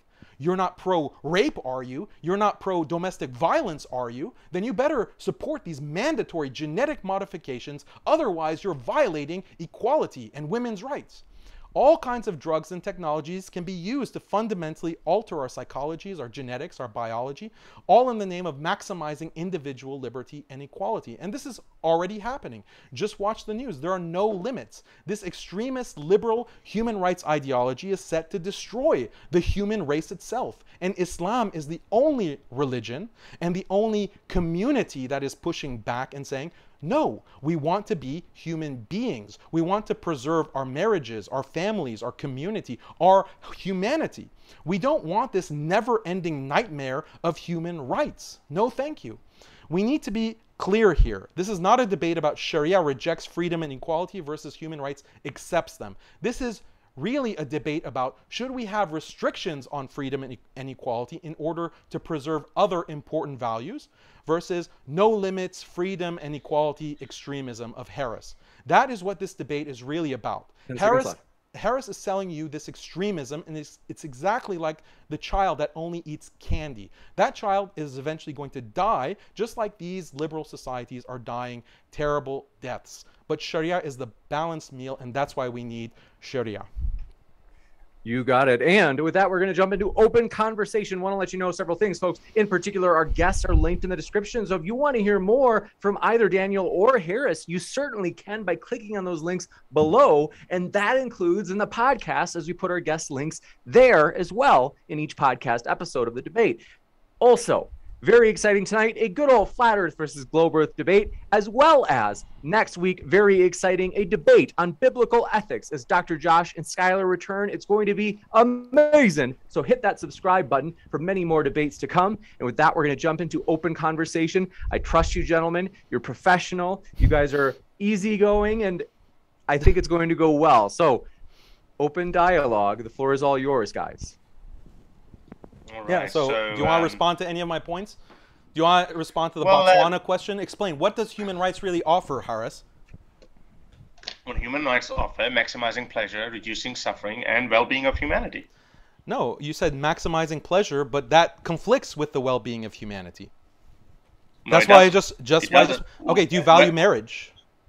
Do you value family? I, I value family. Yes. Okay, then then how are you not seeing the death of family in the world all over? With I, yeah, because, I read all because, those stats. Yeah, so tell me.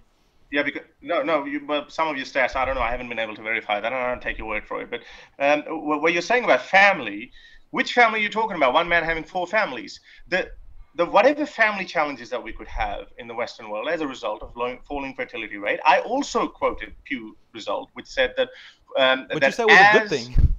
As women, listen to that. As well, well, for different reasons though, but as Muslims get more and more advanced, more education, their, their, their level of income goes up, their fertility is also falling down. And also, yeah, as for you thing. say, you say, one sec, one, just no, to let Harris finish, sir it, it, it, has to be there has to be a balance well 2.2 would be a good balance every every forecaster of the world's population says that we can't even keep growing indefinitely and 10 billion might be the absolute critical and we will start falling down after that. So these things these challenges will will, will come. There's nothing absolute. That is our argument. There's nothing absolute. What you advocate for daniel you say that this is absolute. This is how it is. This is how it's supposed to be. You made a you, you made a point about slavery. You, you uh, like the other one that you you say well it's not obligatory to, to go jihad. So, okay, this is comfortable for you. Um, and uh, owning slave is not obligatory either. But it wasn't abolished. It wasn't abolished by that. No person can defend, and, I, and uh, to, to the best of my ability, and please, I'll, I would like to hear your response on that too. You actually were pro slavery. You were saying that you could even bring back slavery. So, why would you, how could anyone defend having slavery?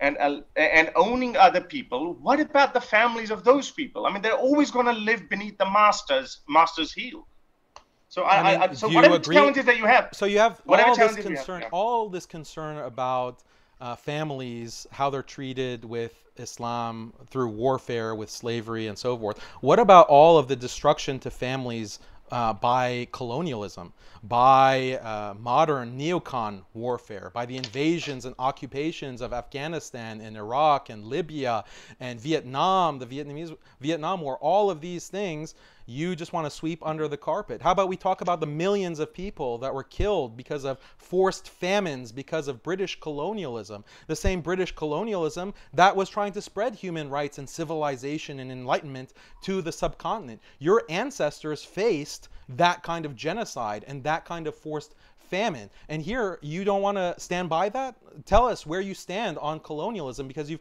avoided that question. You just want to talk about, oh, Muslims uh, are barbaric because we practiced slavery. I gave you the argument for why that was not only morally uh, justified, it was morally necessary. And all of these other cultures practiced it, all of these other religions condoned it. I cited you Lawrence Keeley, an academic who explains exactly why you have to have it to survive. Otherwise, you're going to be wiped off the face of the earth. You, ha- you haven't addressed any of these things. And I just want to ask you when you say that, okay, fine, uh, our uh, fertility rates I'm are. going to forget.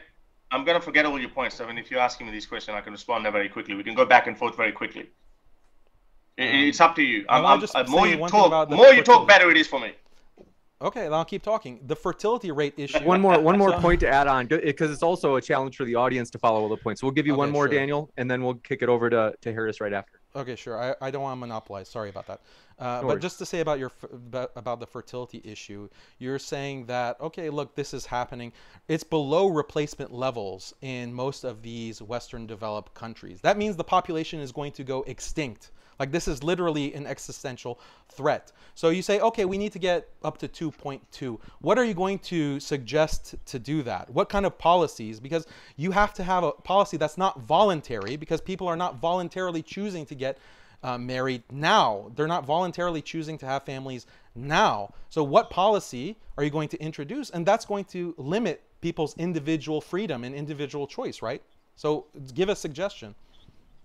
Okay, that's very easy. I mean, uh, let, let's start with the first one. You, you you said that you want my position on colonialism, and as you said, my ancestors actually suffered at the hands of it. Uh, now I'm wondering which colonialism are you talking about? Arab co- colonialism or British colonialism? Is, is a, I'm assuming Very you would different. be- We you can. would be- You want me to talk Well, and give no, you the difference? No, about what- no. Well, we I'll- can. I'll we, we know. We know. We know one belonged to even more primitive society, and that brought slavery and sex slavery, whereas the other one brought other kind of suffering, but that didn't include slavery. So British didn't enslave people of India. So thank you very much. We know that. But yes. I'm not pro-slavery. I don't care about slavery. Yes, we, we condemn slavery. This this was the cause of suffering of enormous amount of people, including my ancestors in India. Um, so I, I I don't understand why you put that on me as though, and you make an argument that okay they were they were going in the name of spreading enlightenment. You know the human rights. Yes, the Enlightenment started uh, post-Renaissance period, and then 18th century. You could go into the Industrial um, Revolution time. You could go from anywhere but it took nearly 200 years to filter down to where we are. Even the postmodernism was actually a result of the of the catastrophic First and Second World War, despite of having League of Nations, despite of having some understanding of enlightenment, and despite of pro- propagating human rights. But that was still not working. But that is our argument. These things evolve over time, and we are consequently getting better and better and better with each. We used to say with each hundred years, or probably a, millennia back in uh, further back we go. But now it seems like we're getting better and better with, with each passing decade. Yes, you raised some good points about um, uh, th- th- this uh, uh, gender change and all Thank of you. that. Yes, these things are these things are problematic. We know that. But again, no Thanks one is rolling rights. over and but but no no no no but. That's over, overly simplification of human rights because that's not all human rights says. Um, uh, the the pre human rights says. A big part of it. what what modern what modernism is what modernism is which is scientific inquiry and reason uh, uh, using reason to come up with better solutions.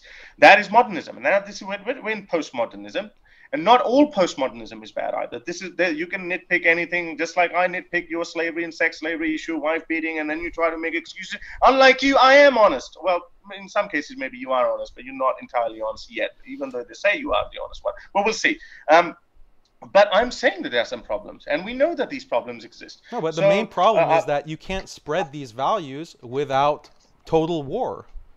No, that's the that's no, the whole no. point. So you Daniel, have to you say need to- that that's necessary, and that's No, that's Daniel, justified. How are you going to how are you going to get the Afghan I'll- people I'll- in I'll come to Afghanistan to, follow human rights? You're complaining constantly Well- about Afghanistan. So how are those people going to accept human rights and democracy as you propose? I mean, we, the answer from the U.S. state is clear. They invaded and occupied for 20 years, brutal occupation. And now, even after they're gone, you have uh, Antony Blinken, the Secretary of State, saying we're going to agitate and we're going to pressure Afghanistan to start accepting LGBT rights and women's rights. And if they don't comply, we're going to, you know, put put the pressure on them. So this is all force, and it leads to suffering. You stand by all that or no? Answer. I'll no, I'll answer that to you, but uh, Yes or if no? You answer stand me- by it or no? If you, Yes or if you answer me, if you i i no, it's more complicated than that. But if you answer that, do you support Taliban or not? You said brutal compli- You said brutal occupation. Uh, you could argue about the way the war on terror was started, but after that. Um, America was not there. There was no Governor General of America There was no America in uh, Afghanistan. there was no government that was directly American. The government itself was Afghan. The government was Afghan. Yes, you could you could laugh Yeah, at they're they're democracy. Know Afghan. They, they weren't they weren't agents of. Look at all of the leaks that were posted You by the Washington brutal. Post. They were You say it's agents. Afghan You government say it's was an agent of the U.S. government. How can you deny that historical you say fact? you say you say you say it was brutal and put put a hand on your heart and say it was it was more brutal than the 90s Afghanistan or even now yes, what it was Afghanistan is going Yes, to be. Yes, I did a whole It was video. more brutal than that. For, I did a Okay, right, 45 right. minute video on all the rape, all the Right. um, you know, all of the rape and torture and murder. You had Australia. You're an Australian, right? So you had Australian special forces who were hunting farmers, Isolated Afghan incidents. horses, and cutting Isolated off their incidents. fingers. No, this is a pattern of abuse. They Isolate. stopped. They were counting- punished. They stopped. They were punished. Why were they, They even were punished. there? You They just were- said that there no, was no but- but presence. they now you're in- saying they were no, no, punished, but- they were isolated. So there, there were soldiers They there, were right? So why are you changing we, your story? Uh, because no, I'm not changing my story. You What said I'm that saying there weren't we're- we're- anyone, there was no forces in Afghanistan, right? I'm saying Were no, I didn't say there or not? that. I said the Let's- government. right, well, I said the on one second, government. just I said the just so there's government was too Afghanistan. overlap. I So- said the government was Afghanistan. The government was given back to Afghan people, and Just it was, a, all it was an attempt to democracy. soldiers. Unfortunately, unfortunately, unfortunately, Islam got in the way, and it said, "No, sorry, we want to live in the seventh century, and we, we want to be ruled by warlords, terror, intimidation, and fear, and executions, and barbarity. And uh, democracy has no place in Afghanistan. You should be." Everyone else, every sane person, not you, that would be unexpected expectation from you. Um, uh, not everyone would be happy in Afghanistan. We've seen the footages of people trying to escape Afghanistan. Why? Be- Burqa sales have gone through the roof in Afghanistan. Uh, people are scared. Women came out and women were beaten up. Just yesterday, there was a news story. This People the- are trying to a woman was escape hunted El. Salvador One sec. and Mexico. People We are do- trying to just- But for other escape reasons. let's all just of let, these let's countries. let let's let Harris Other finish his reasons. point, and I promise we'll come right back to you. Harris, if you Sure, want sorry, to make this last point, and then we'll kick it back over. I, I, I, I did, yeah, because Daniel made all these points. So anyway, so, so yeah, people are escaping those. Yes, I know if uh, if America says that everyone at the uh, at the Lahore or Mumbai airport um, goes there, will go there. But no, we know that for a fact that they're leaving for different reasons. People are scared in Afghanistan for good reasons because we know what Taliban have done. You said something about um, uh, how would you in, uh, uh, we will go towards extinction, and how would you um, uh, increase the in, increase the uh, fertility rate, and you offered a solution that you can only Im- impose these um, th- th- these policies by war. Like, I mean, you literally want to beat people up and invade a country and That's tell them to have sex and make more babies. No, that's not what I did, said. did, didn't. So what, what did you say? So I want to understand. I want to strong man. Is- when- when- Islam- when you say that you have to implement. Islam has Yeah. these policies, right? Uh, in the in the Sharia, you you um, can't have premarital sex. You can't have extramarital sex. You have modesty. You have gender separation. You encourage um, Muslims to marry young and have children and be fertile. Those are all policies within the Sharia that, when people abide by them, there is higher fertility. You have stronger families. You have healthier societies because of that. That that was the argument. It's not Yeah. going to war. No, but you but you implied that how you asked me a question. How am I going to apply that in the Yeah. Western world where fertility rates are falling? So you What uh, you didn't say that. What, what policy are you going to institute that will increase fertility policy? rate? Well, well, f- first of all, immigration is the one one good policy, and uh, we can always uh, Bringing in Muslims people from other countries? Well, well, well, there are a lot of Indian and Chinese too, so I would prefer them first. Um, but no, Muslims So that are means that well. the Muslims people here are Muslims going to go people. extinct. Muslims are good people. No, that's not even the case. I mean, um, uh, for example, Australia pumped up the fertility rate back in the uh, late 2000, uh, early 2010s by giving out baby bonuses. So you know you'll get ten thousand dollar check if you make more babies. So that's so your, your policy of immigration relies that, on Islam, right? You haven't given a policy. Not necessarily because it's Chinese Islam's Muslims higher fertility or Chinese or any of these traditional societies. Or Yeah, you're relying that, on no, but, Islam. So you you've just deferred the argument. You haven't introduced a policy no. that will increase well, the population, baby bonus, the fertility, ten thousand dollars, indigenous population. So you you haven't baby really bonus. introduced the pop. Like the problem baby. that you're having is you can't introduce any policy because it will restrict individual freedom. That's why you're stuck. Okay, so, That's so exactly again, let me tell stuck. you, let me, let me let me go back to Pew again. Let me go back to Pew again because, as I said, it's got nothing to do with actual not having, not wanting to make families or whatever. It might have some part to do with it, No, but I- it's got more to do with the with the improving eco- economies, uh, economic standards, and this is why I said I the can see Muslim that. birth rates are also going down. I yeah, but Muslims birth rates are also going down. I yeah, can so that's a bad thing. But, but, It's a bad No, thing. no, it but- shows but it is- exactly why development and modernization and human rights is a bad thing. That's my entire point. So, so, so let's so let's stop going to work. Let's stop making money. That's your solution, so we can just stay home and make more No, babies. that's it not is just. It is just. It is just one of this. It is just one of the side effects of that, and humanity will come up with a better solution. If we, who knows the what, what humanity 2.0 might be like? Who knows? We might be actually making babies in labs, or maybe we might not even need to uh, may, uh, uh, So, keep increasing like, our humanity because we would be living a thousand years longer. So we don't know that. These are the problems that will come even later, and we'll come up with new, newer solutions, and we would have more solutions. If we survive You can't understand that because you we will survive. Of course, we're not going anywhere. The, popu- the, the birth rate is still going up everywhere else. no, you just said it's not going up. You said it's going down everywhere. no, it- the global, global, global birth rate is still going up.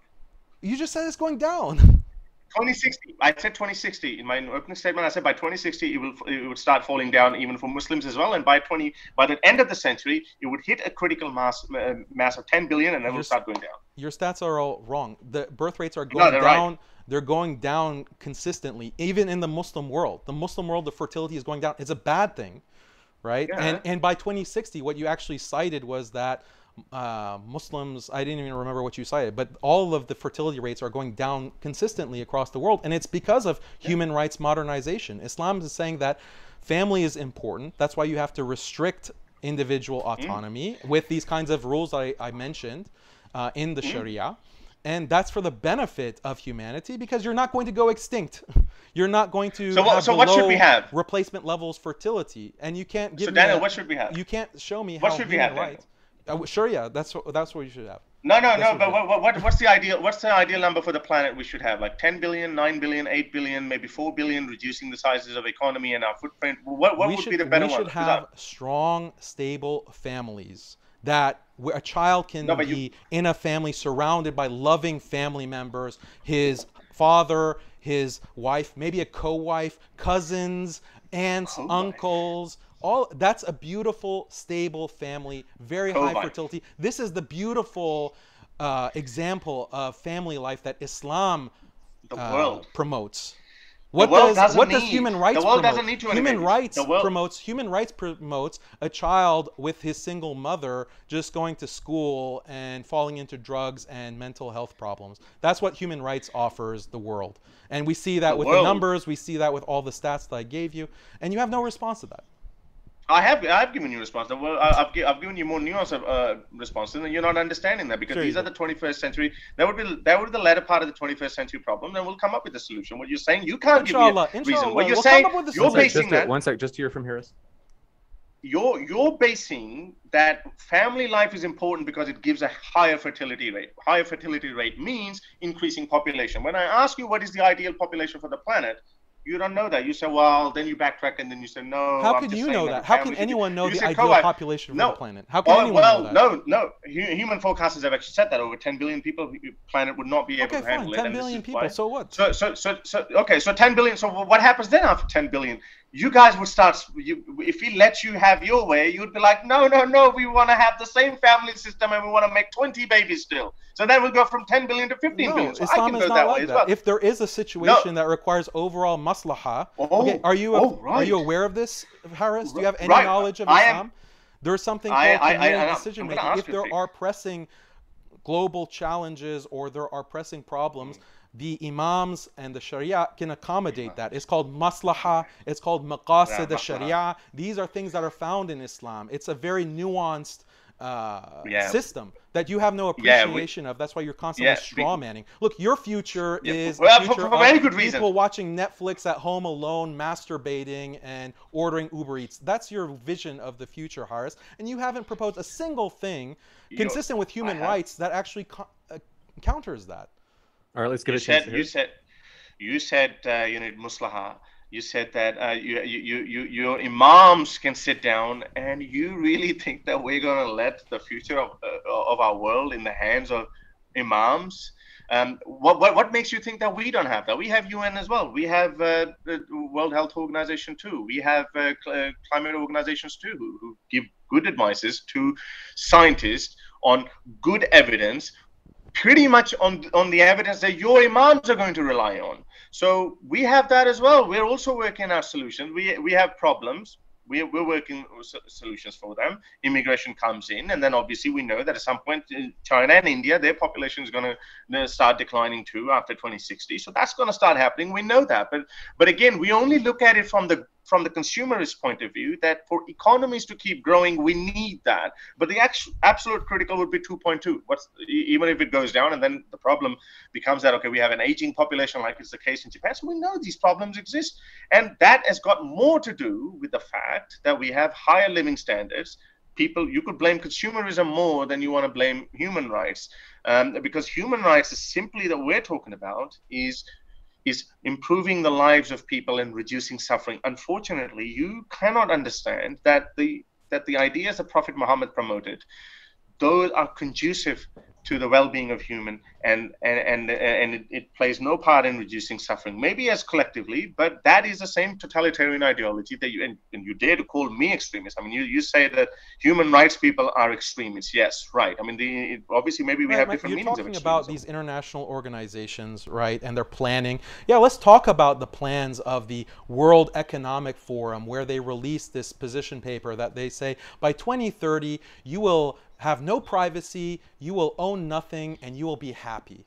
Like this is their vision of 2030. Every individual living in a pod and eating some kind of bug-based meats because actual beef is bad for the environment and climate supposedly.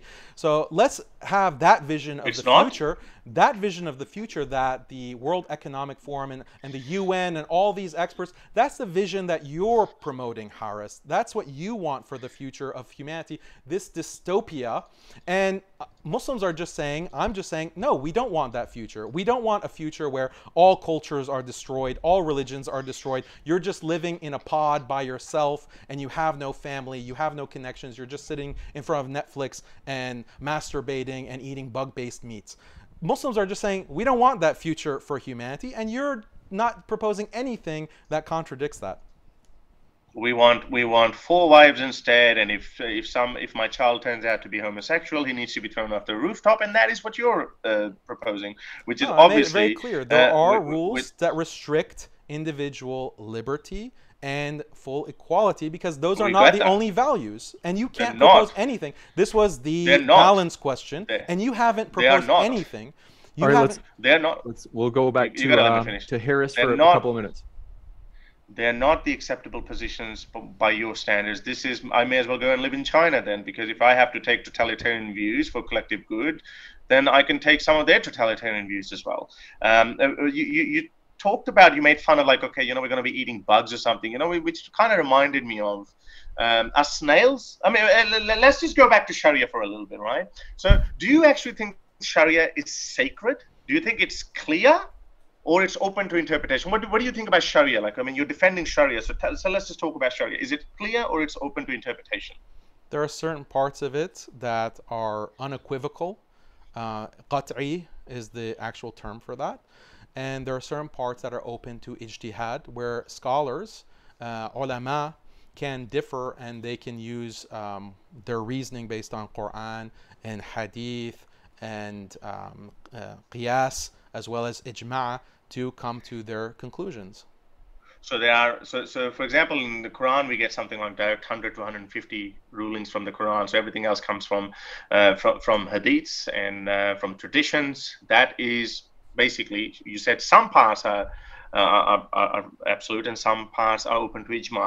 Well, I would say very few parts are confirmed and absolute. The other ones are open to interpretation, which means it's subjective. So when when we make an argument for objective God or sorry objective morality, we're, we're basically you're saying you're only giving us some really basic rudimentary level of uh, of of, of, um, uh, of rulings that you say that they are absolute. Everything else, I mean, are you just telling us rape is bad, slavery? Uh, sorry, uh, slavery is fine in your worldview.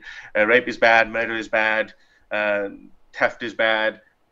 I mean, surely we could we, no, we there's, there's a lot of different well. directives, uh, as I mentioned. So you very... talked about you, you talked about you talked about eating animal uh, eating bugs. So I mean, I, so that just kind of triggered in my mind. Like, do you think snails are they halal or not? Because Sharia is a lot more complicated than that. Because dietary requirements is considered either is halal or is haram, and Sharia means Sharia is directly linked to your morality. So you are if you follow Sharia, you're moral. If you don't, you're immoral eating eating pig would be immoral because it's written in the Quran not to do it. But what about other things like, let's say, snail or a kangaroo? Do you, do you, do you think snail is halal? So it will depend on which school of thought that you're following. Yeah, I mean, Exactly. this is not what are what is your point? My, my point is that it is it is open to interpretation. I said that. I acknowledge that. I acknowledge that. Yeah, I yeah. So so you're you're trying to put on something to us. Then your system is not really No, that but uh, the us values well. that That I mentioned. evolving. Why are why Imams, are you? But you talk way more than two minutes, uh, James. Like, what's the balance here? He's just going on and on rambling. And Go ahead, Daniel. We'll give you several minutes. So I brought I brought family, marriage, romance, love. I didn't get to the points about community, but that's also valuable because people value their way of life and Islam has brought together all of these different cultures under Islam and they've preserved. Like I'm Persian. Persia was conquered by Arabs by Arab Muslims and non-Muslim, uh, non-Arabs too, because the original Muslim community was ethnically diverse. But it was conquered by Islam 1400 years ago. Yet Persia has retained its language, it's retained its culture, it's retained many aspects of its literature. That's because Islam is compatible with people preserving certain aspects, not all, because idol worship, for example, is not preserved. That's not allowed. Uh, but preserving certain aspects of um, culture over hundreds of years. And I'm living proof of that. You have Muslims who are Nigerian, who are Malaysian, who are Uyghur, who are Turkish, uh, Desi, Arab. All of these have maintained their ethnic and cultural traditions, but modernization leads to homogeneity, the extinction of languages, people who have uh, completely been wiped off of the face of the earth, cultures that have been wiped off the face of the earth because of colonialism, because of this human rights regime. That even today, you have languages that are going extinct because of colonialism. So Islam is something that preserves community as well. This is an objective value. Okay, you're talking about snails and kangaroos. I'm talking about things that are affecting billions of people on this earth right now objectively and you can't address any of those points. How are you going to preserve community? Okay islam has certain kinds of rules and regulations that preserve community as part of the sharia but what do, do you have to offer? What does human rights offer? You haven't addressed that.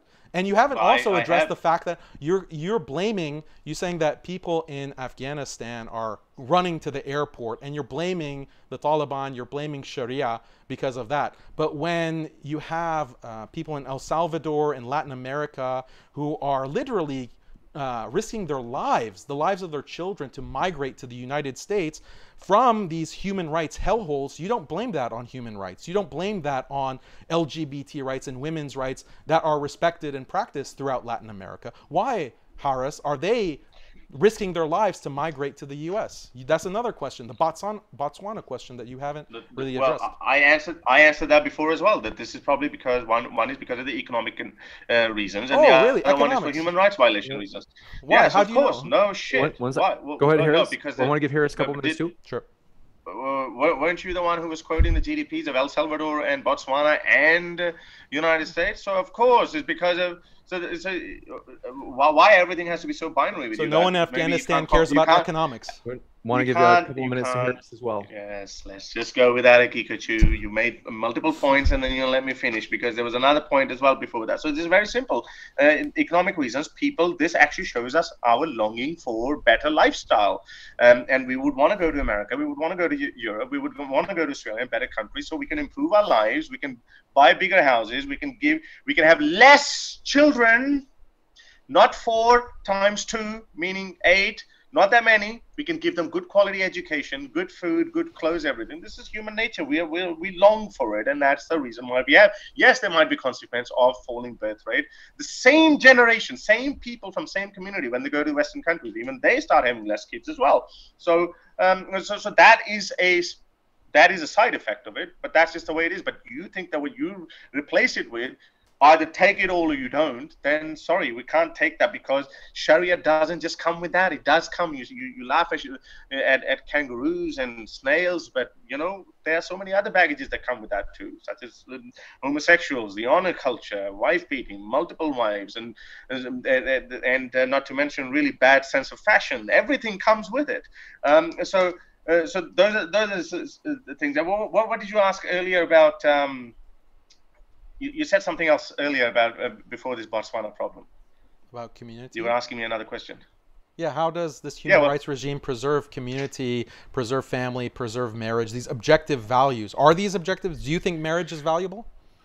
Well, as, I said, the only reason is that we look at for the next Yes or no? generation. Is we it look at the valuable or not? We, we we look at we no, it's more complicated than that because we look So you- at we it's look possible at that marriage how is the not next valuable. generation.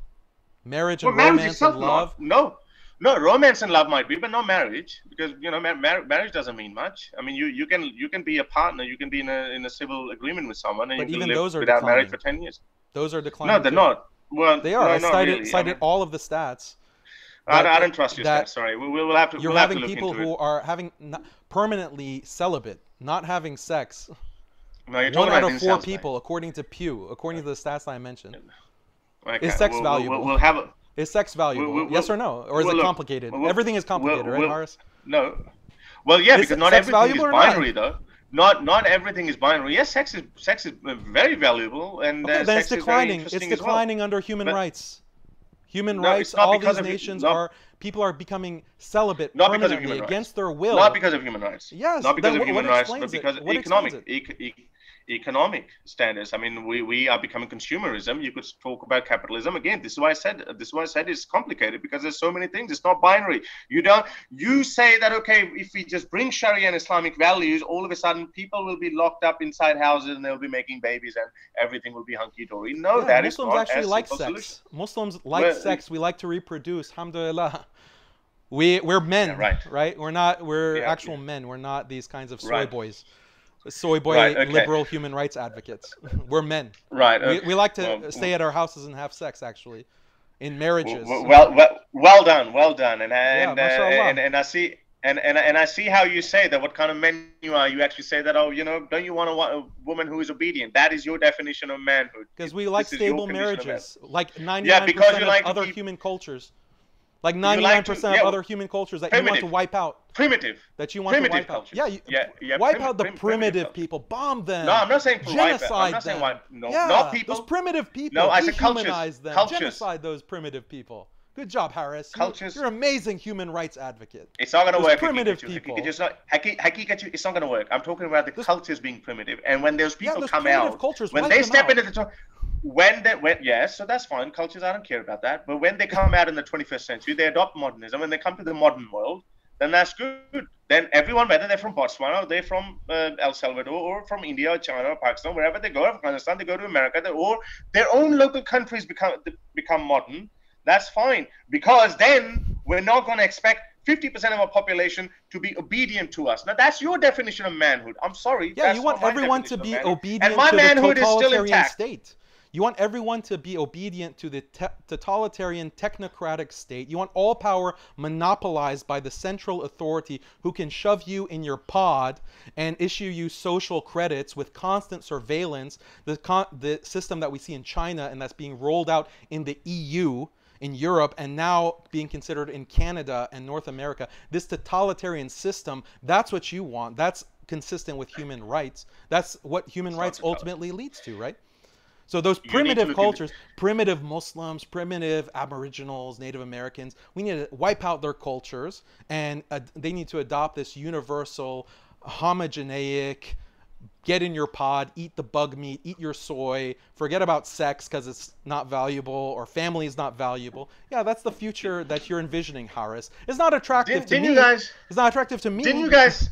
I don't know don't about you guys your Hindu that- or Christian followers, but uh, Don't you- I think they're starting to realize that what you're offering is this con, this hoax, and it's I really, know, I can see. really scary. Actually, this is the terror of the modern liberal state. It's devolving. It's destroying the human race. Okay, I, I, I can I can see how my Hindus and Christian followers are like turning. They're, they're saying the Shahada and they're converting to Islam very quickly. So you know you need to look up the meaning of inshallah. That dream will never come true, Daniel, because people are leaving Islam, not joining Islam. The only power, the only way you can keep Islam going is, as you said, be a man, keep making Yeah. babies. But uh, you need you need to look up. I'm You need honest. no, you're not. No, you're not.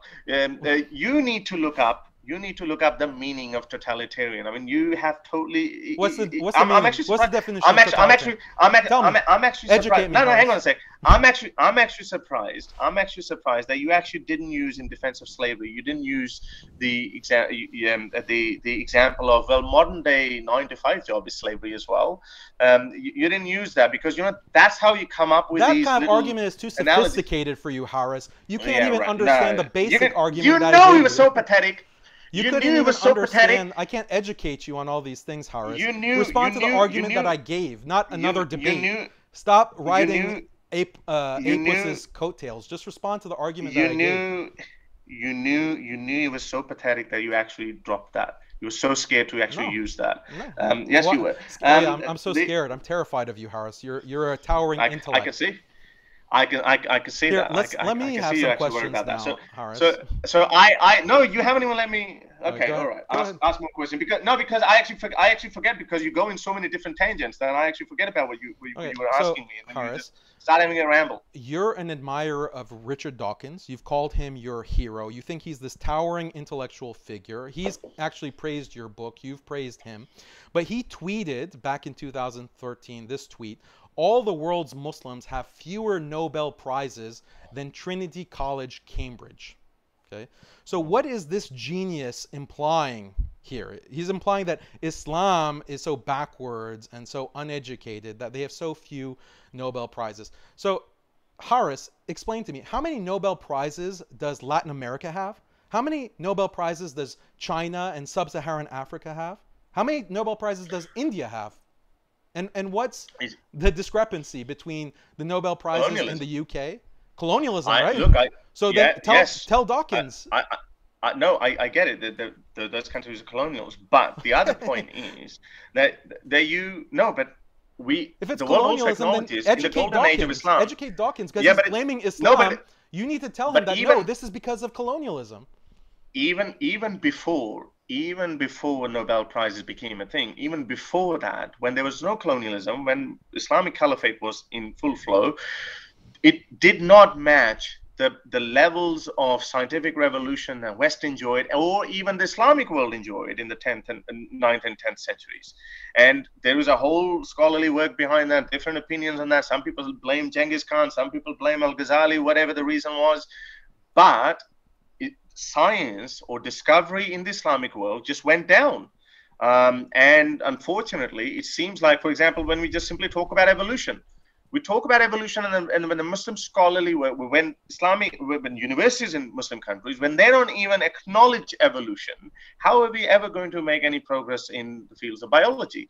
Uh, you could argue about physics and chemistry, and we could hope Let's that but again another this would be linked like, this would be talk th- about wait, it. wait, wait, let, me, let me finish my point man come on very this this would come to a point that as muslim countries advance as well they get better. We get better e- economy in countries like pakistan or turkey or saudi arabia is modernizing. Now the saudi arabia is modernizing. We're getting better university uae is modernizing. Better universities.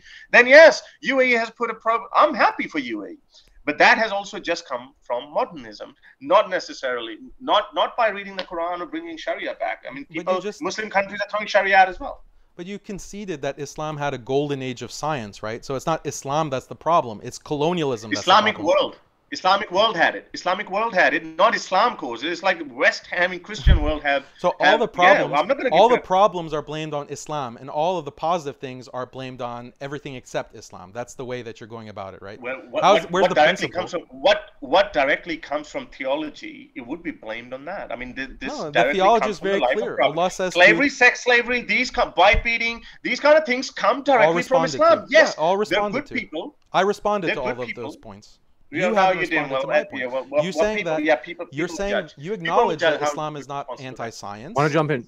Just pardon my interruption, but do want to mention we're going to go in just a short bit. We're going to go into the Q and A, folks, and at the live chat at Modern Day Debate. If you type in at Modern Day Debate, that helps it make it clearer for me to see your question. We do have a lot though in terms of the Q and A questions already, so no guarantees that we'll get to it because we want to get our speakers out at a decent time. But go ahead, gentlemen. Want to give you a chance to wrap up. I think I'll, last. I think discussion. we'll I think we should go to the questions as well because I think we've only got 10, 15 minutes left. Um, uh, but anyway, I can't enjoy this conversation. I think there's there's probably a lot more to talk about, and um, uh, Haqiqatjou should we, we, I don't know if you want maybe we can have a, a round two as well. But um, where, where you think that you have given answers to slavery or uh, wife beating or whatever these things, where you think in your mind, and this is what fascinates me, that you live in such a little bubble of your manhood that you think that whatever you've said people are going to buy that. No one is buying that other than your own choir boys. No, no one outside of that circle is buying that. This doesn't make any sense, Daniel. If you just they are buying it because they're part of those cultures too. The Christians and the Hindus and the Jews, they can look at their own cultures. They can look at their own traditions. They can look at their ways of life, and they'll find that there are a lot of traditions parallels. are bad a lot of parallels with Islam. And then they'll realize that, wow, it's the modern world that's destroying Slavery. our ways of life. It's modern mm-hmm. world that's destroying our families, our marriages. And clearly, this is not sustainable. That's what they're going to realize. You just saying slavery, wife beating, concubines. That's all you. Your whole argument is just putting out those words. You haven't addressed or been because conversant. It matters. Because you haven't been conversant with any of the arguments or the points that I made, logically explaining, citing academics, citing studies. Riffraff. You haven't. Yeah, it's riff all riffraff. Academia is riffraff. I try to be objective. Your your you're, you're. That's not objective. You didn't even. You didn't even answer my objective okay, scientific question, studies aren't, Scientific studies aren't objective. Well, I don't. I'm not going to take scientific any scientific studies? study from you. I'm not gonna. I'm not gonna. It's not from me. It's published in Science. It's well, published in I, Nature. Pew is Pew. You have a problem with Pew? And your. How about the Global Social Survey? How about that? How about the Ethnographic your, Atlas? How about that? How about your interpretations? World Values Survey. Are those your, objective? I'm not gonna. I'm not. I'm not going to take Riff your interpretations of them. I'm not going to take your interpretations I just gave you the of numbers. them, and also I don't trust. Well, well, no, you just gave me. I'm not aware of them. I, I can't. No, if I can't I'll verify all that, of I'm the citations I'll put well, that's all the good. citations and then maybe we can have the video description after the debate. Yeah, yeah, yeah. So people can analyze right. it for themselves. And then, yeah, yeah. What we what we can do is you can actually send. So when you put it up, then we can debate on them, and then we'll see that how honest is your interpretation of those of that data, and how you're actually turning, how you're twisting your worldview to fit that as a solution, and then I'll see. Okay, how can I shift my worldview and uh, and fit according to that, and then get come up with a solution. So you know, this is actually very easy. I think Daniel, you you, you should know this. Um, um, but anyway, so so the reason why I bring up those loaded terms is because I know this is your Achilles heel. If you were, if you, for us, it's harder to uh, to argue or reason with people uh, who, who, are these postmodernist Islamic scholars because they also believe in this, you know, constantly evolving morality and and they believe in they're reasonable people because they haven't switched off the compassion switch. But you guys, it's so easy because yes, I just have to throw sex slave at you. Like your prophet did that. Why would I want morality or, or family system from him when he did that? I, am sorry. I'll, I'll, I'll, find someone else. I'll use my own brain to come up with another solution. So anyway, I think we should open up to. So your um, problem is not with Islam. Your problem is not with the Prophet, peace be upon him, practiced sex slavery. You find this throughout all of these 99% of other societies and cultures. Read yeah. Lawrence Keeley, his book on pre-modern war, warfare. Read all of that and see. They're all, they're all ancient. I know that. They're all ancient. I know that. I, I, don't, I don't. I don't yeah. So shouldn't morality base be based on contextual factors? Morality should be based on reason in light of constantly evolving situations Okay, around yeah, us. exactly. There were the different check that. This is situation and we do. circumstance in the past than today. Look, uh, No, but that's not your claim. it. That's not your claim, though. Ty- is. Uh, these morality, no, this morality is for all time. You change your position, No, Akika. I did You were supposed to be literalist and realist. Didn't I This say that? Didn't I say that is supposed to be jihad? for all Didn't I time. say jihad? Didn't I say slavery? I said that certain aspects of. Islamic law, today. Certain aspects of Islamic law are context dependent. They're based on ijtihad. They're based on maslaha maqasid, and certain are not. This is something that is acknowledged in throughout Islamic tradition in fiqh and Sharia jurisprudence. It's all there. There's I haven't um, you know certain rulings are sugarcoated always anything or hidden certain everything rulings in an open book certain about this. rulings certain rulings are, have always been there certain Yeah. rulings will always stay there and those Yeah. rulings Others are not. Yeah but those rulings are barbaric and and and uh, No, I mean, because you- you this is what Baghdadi you said You. Baghdadi said Baghdadi said why should I stop making taking slaves because UNO or America tells me which is a very valid point your prophet allowed you to have sex slaves so I gave you the so reasoning why for should- that. you gave the reason for other imams. I don't accept that. What if, what if I'm a literalist? What if I follow just a I gave you an argument. Remember, I said, uh, let I'm me sorry. steel man your argument, Harris. Okay, people who are watching, rewind the tape and watch that section. I steel manned your argument for you. You didn't even make that point. I made that point, and I explained why, why you make even in that? Did- situation, even in that situation, the world would be a better place if instead of nukes, chemical warfare, biological warfare, constant mass surveillance from intelligence agencies, and uh, warrantless wiretapping, all of this on one hand, and a world that has just because of lack of slavery, and a world That that, has slavery. no. Which one is better? Hmm. No, and I that's said, and there's a lot to say about slavery being the better world, the, the world that's lower tech but has slavery. Not for the slave. No, not really. Not Yeah, for the slave. not, I mean, it's slave not would great for probably, the guy who's would probably, being nuked.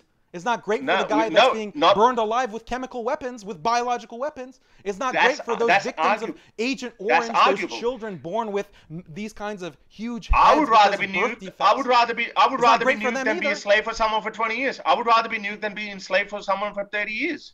Then be But that's killed by a nuclear weapon.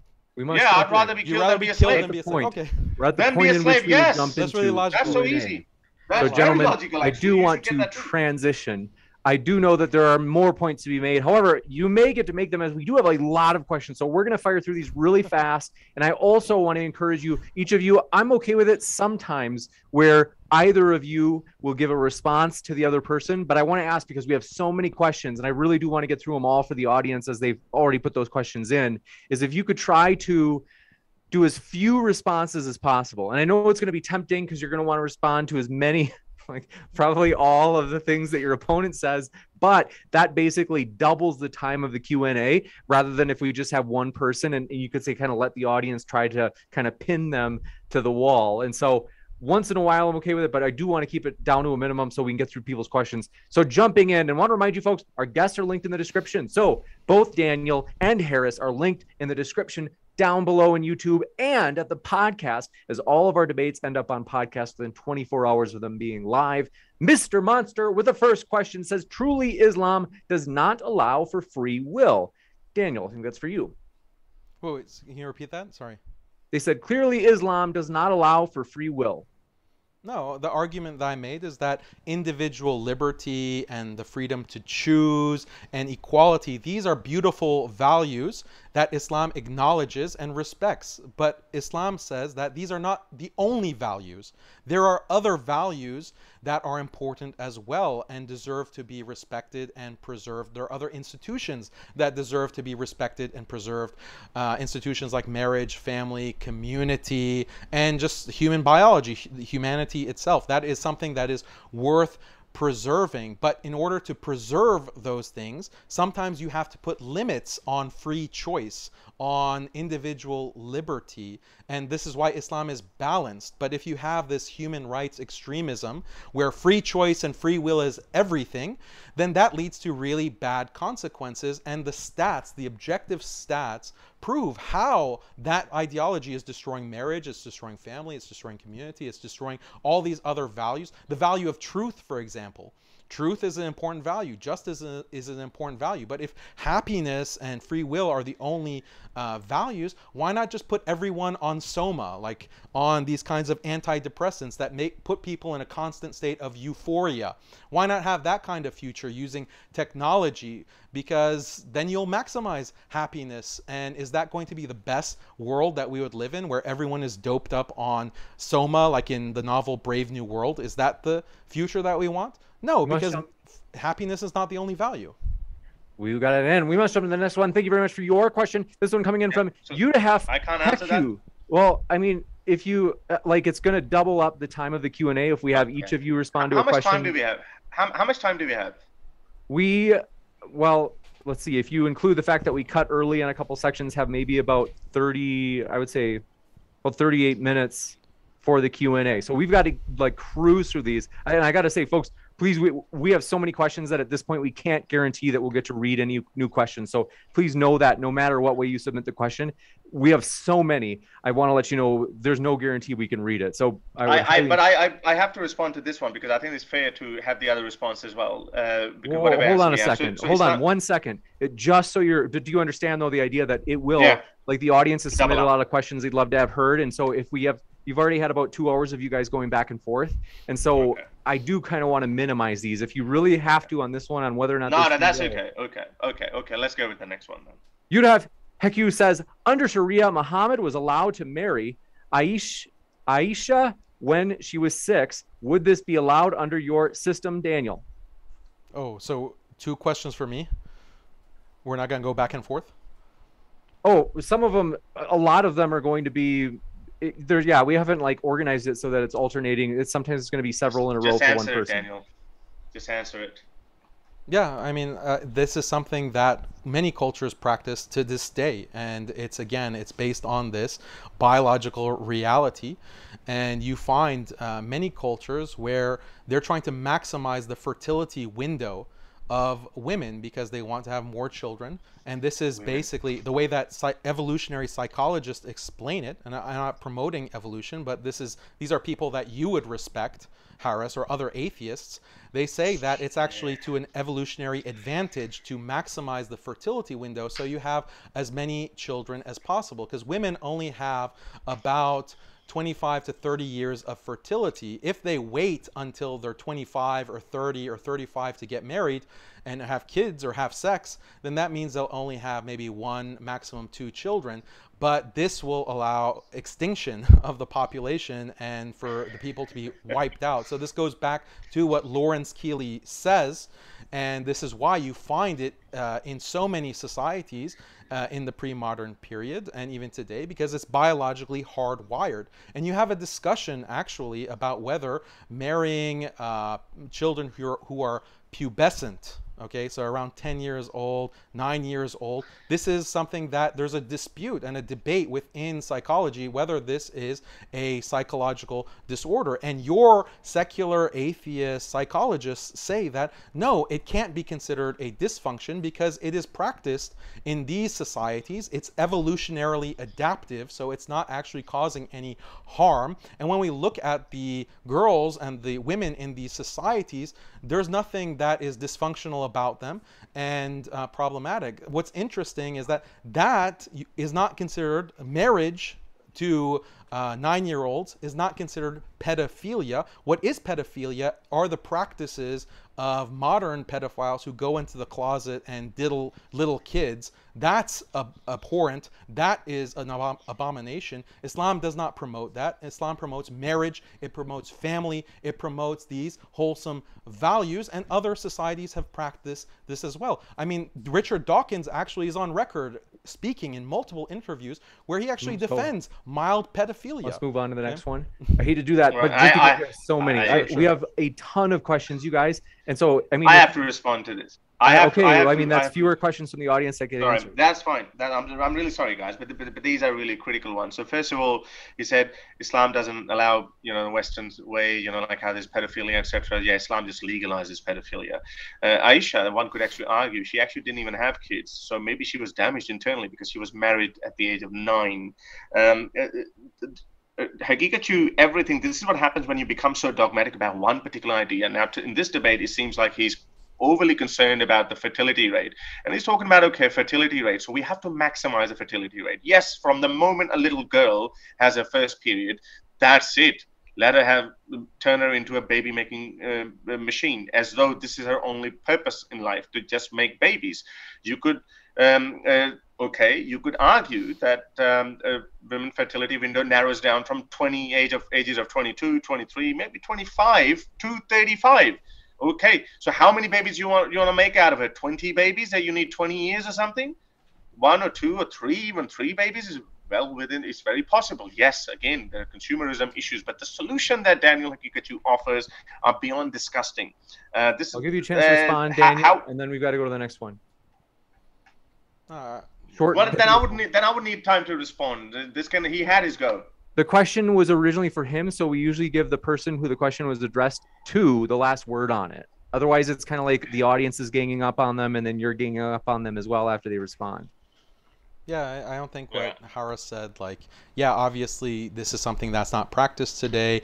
Oh, um, you have different values. I gave you the justification. I gave you the reasoning. And I showed you that this is something that is practiced uh, pretty widely in the world and even many cultures today they they practice it women actually naturally want to have children women and men want to reproduce this is a natural biological function and people have been doing it for all of human history. It's only human rights extremism that is destroying these cultures and these traditions and these practices.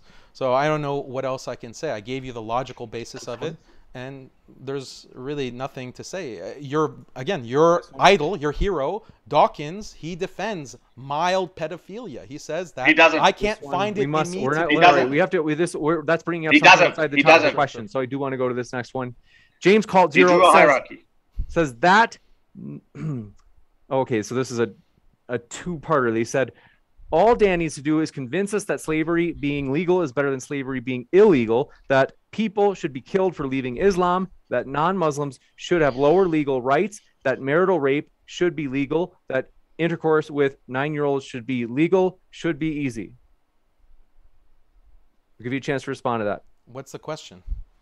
Some of these are just comments, or you could say objections. I didn't understand what's the objection. It sounded like a long list. With that, it should be. Well, we'll go to the next one then. The super. I, I responded to all every single one of those points: slavery, sex. You slavery. think in your mind you you, you think in your mind you've given good justification, but you actually we must haven't. go to the next one. The super destroyer says, People "What book troubled. on Islamic?" You've talked for two hours. We must go to the next one. What book on Islamic jurisprudence has Harris read? It seems he got his education of Islamic law from watching Fox News. well, well um, no, I've uh, I've read uh, all the Sahih Sitta books. I've uh, read the Quran. I've, uh, I've, I've read I've read. Uh, yeah, I know. I'm coming to that. Um, uh, I haven't read the actual books of fiqh, oh, but I've read some pamphlets here and there. I've read I've read some pamphlets here and there, which is that that's fine. I'm I'm only turned off I'm only turned off when I read the Quran. When I talk, when I look at amputations as a solution for uh, to save the world from from theft or uh, to to um, to keep the society going and to keep the war economy going, we need to own slaves. I'm sorry, I've got better things to do. I'd read a book on evolution or um, or how the universe came came about. I'd rather study that. But um, um but yeah, the, the, I've, I've read I've read some objections. I've written I've looked into it, but uh, I'm sorry, it's not very impressive. This one coming in from do appreciate your question. Apostate prophet says, should Islam be enforced upon the disbelievers? Yeah, Islam. Wait, you said apostate prophet, apos? That's it's apostate prophet. Uh, okay, I don't know apos, what the other word means, but uh, apos. We discussed this in our debate. Go and rewatch the tape. I, we talked about universalism. Liberalism is a universalist ideology. It believes in imposing human rights and this kind of LGBT rights uh, extremism on the entire planet, and it does through that through colonialism, through occupation, through sanctions, uh, forced famine. That is the universalism of liberalism and human rights being imposed on the entire globe. Islam is also universalist. It also believes that Islam should spread. And I've talked about this in our debate. People can go back and watch that, which you acknowledge you lost that. So, you know, yeah, Islam is universalist. So what? All of these other idea uh, belief systems, including human rights liberalism, are universalist as well, and they employ coercion in the same way that Islam has coercion, but Islam is the, the truth. Let's go to the next one. Wolf says to both speakers, what are your thoughts on the new government the Taliban is attempting to set up in Afghanistan? We can start with you, Harris, if you uh, want to go. We haven't heard from you. Well, this is uh, obviously atrocious, and all the people who are leaving uh, Afghanistan in such numbers, and Pakistan is overflooded with refugees from Afghanistan, from the very same Afghans who think that Pakistan helped install uh, Taliban into Afghanistan. They're going to, they, they, they, don't like Pakistan, but they're still going to Pakistan because they think it is far better than what Afghanistan is going to be. So uh, I think the, the huge number of people, and, and, the people who have stayed behind are the only ones who are not resourceful enough.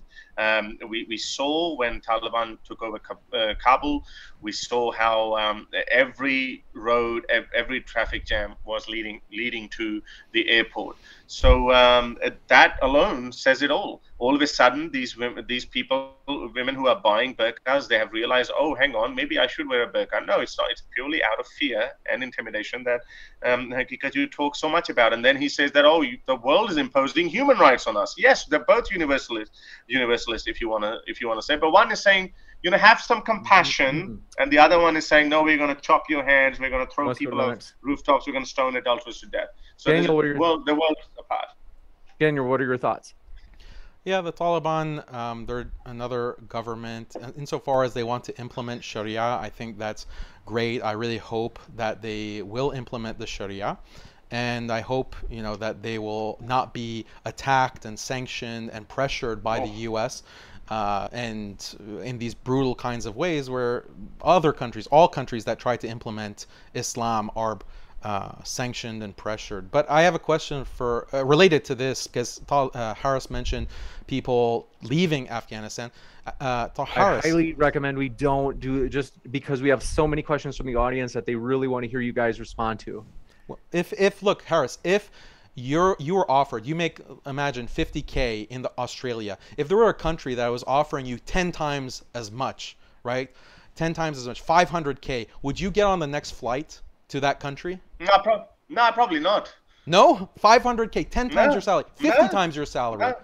No, the, the, no, because uh, because if I have my yeah, because if I have my family here, I'm happy here. I'm actually you can yeah, move I'm your family first class with that kind of no, paycheck. Um, yeah, but maybe maybe I still have yeah okay maybe if you make the whole family as well then then may be the case. But okay, well, why are you so laughing? Is as a, hang on, well, well, well, well, well you, I, I I gotta finish this point. Why are you laughing as though you've actually made a slam dunk argument you haven't proven anything? So you've actually put the you put the you've actually proven my point. It's a massive own goal, Daniel, because these people who are trying to go to America, they're single males. They're only sometimes there's only women have been giving their children away. Just take my child away. So they're not like going entire family for economic reasons. Yes, if it was for economic reasons, you could say, okay, it's for economic reasons. But these people are not leaving for economic reasons. These people are leaving out of fear for Taliban and the suffering they're going to bring to people. Now you can. Let's go to the next one. This one coming in from Apostate Prophet says, Daniel, Muhammad said the sun travels. Wait, wait why are we taking all questions from apostate prophet? He already got his questions. Go to some other question. I don't need. I don't need to answer questions from that loser. Like he's not relevant. We we, we answer them in the order they came in. Be so careful of Pikachu, because after this debate, where are questions from where Harris? Where are the right, questions we've, from we've from Muslims for Harris? Listen, I we're listen. We take them in the order that they come in. If you want to make sure yeah, that it's done that particular Q&A. way. You have to let us. You have to let us. This is the way Harris we've always done it. Asked. Nobody's ever complained about it in 600 debates that I've moderated. So we're going to do this the way that we've always done You're it. Complaining this one comes like, in. They say not enough questions, uh, but this said, two from the same person. They said, "Listen, we take them in the order that they came in. If you didn't want that, you could you could let us know before the debate." So they said Muhammad said the sun travels to a resting place at sunset and prostrates to the throne of Allah where it asks for permission to rise again. Do you agree with Muhammad? Uh, the Quran yeah. says this, the Hadith say this, and yes, of course, I agree. And this is not related to the debate. This is something that's irrelevant to the question of Sharia and human rights. If you want to talk about uh, Islam and science and interpretation of the Quran and conflicts with modern science, I'm happy to do that and talk with a reasonable person about this topic. But this is not relevant to the debate. I, I don't understand the moderation here, James, because you're supposed to ask relevant questions about the debate. This is something completely irrelevant. This one It's coming in from that's secular don't wanna answer it. pagan mums. Thanks for your super sticker. And Grimlock says, "I'm sad that I can't skip ahead in the debates." Apostate prophet says, "You guessed it. Here he is again." Daniel, the Quran says that the stars are missiles thrown. Let's see. I I do. I It's not sympathize with you. relevant. Look, he's he's on. Daniel, is- can I even? uh, Is it okay if I finish? Uh, Where do you think it's okay to just interrupt people? So my point, I was actually going to agree with you, Daniel. I was going to say like it is true that these aren't really related to the, to the actual debate. So that is something that I want to be mindful of. Lindsay Marie says, Daniel, you really believe all Muslims don't have sex before marriage and don't sleep around on the partners? Yeah, the stats show that Muslims read Steven Fish are Muslims um, unique. Read his book. Read um, the articles that I'll cite for you that show that uh, Muslims have lower levels of premarital sex, lower levels of extramarital sex. This is something that is a sociological fact that non-Muslim academics have written about. You can look at the also the World Values Survey from Inglehart, and he also establishes the lower rate of premarital sex and support for premarital sex amongst Muslims. Now, some, a minority of Muslims, are obviously having premarital and extramarital sex. The point is that it's at a much lower overall level than um, these other religions and these other modernized uh, people. This one coming in from, you guessed it, apostate prophet says, Daniel, do you prefer Islamic law or secularism? If you had the power, would you eat, would you want to return the U.S. into an Islamic country? What would happen to the resistant, disbelieving men and women in this Islamic America?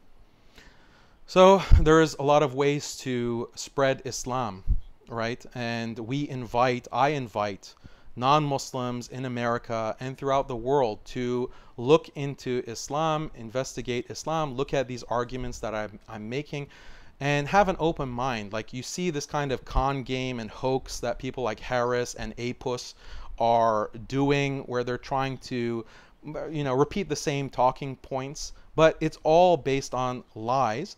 And when you actually understand how Islam and Sharia law, orthodox, strict Sharia law, is promoting family and marriage and community and re- results in flourishing of human life, all people, and how this has been the case for 1400 years, then people will be open and will want to accept Islam. This is what I this is my message to non-Muslims watching and I do it with a very sincere and open heart.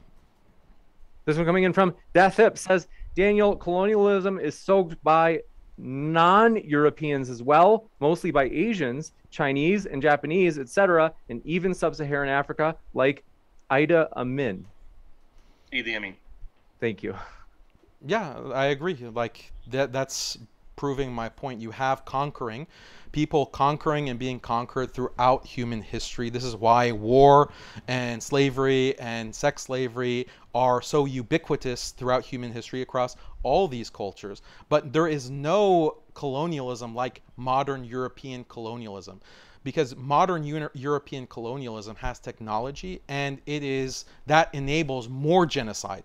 Now, of course, there were genocides in the past, ethnic genocides that happened, but Islamic conquest is not genocidal and it's not ethnic based because people can convert into Islam. Con- uh, conquered people like the Persians, like my ancestors, they converted into Islam and they achieved equal status with the conquering Muslim community. So this is very unique in Islam. This is why Islam has been so ethnically and culturally rich and diverse, but you don't find this with European co- colonialism because it wipes people out. We have so many people, Native Americans, Aboriginals, um, Asians, that have gone completely extinct because of European uh, human rights colonialism.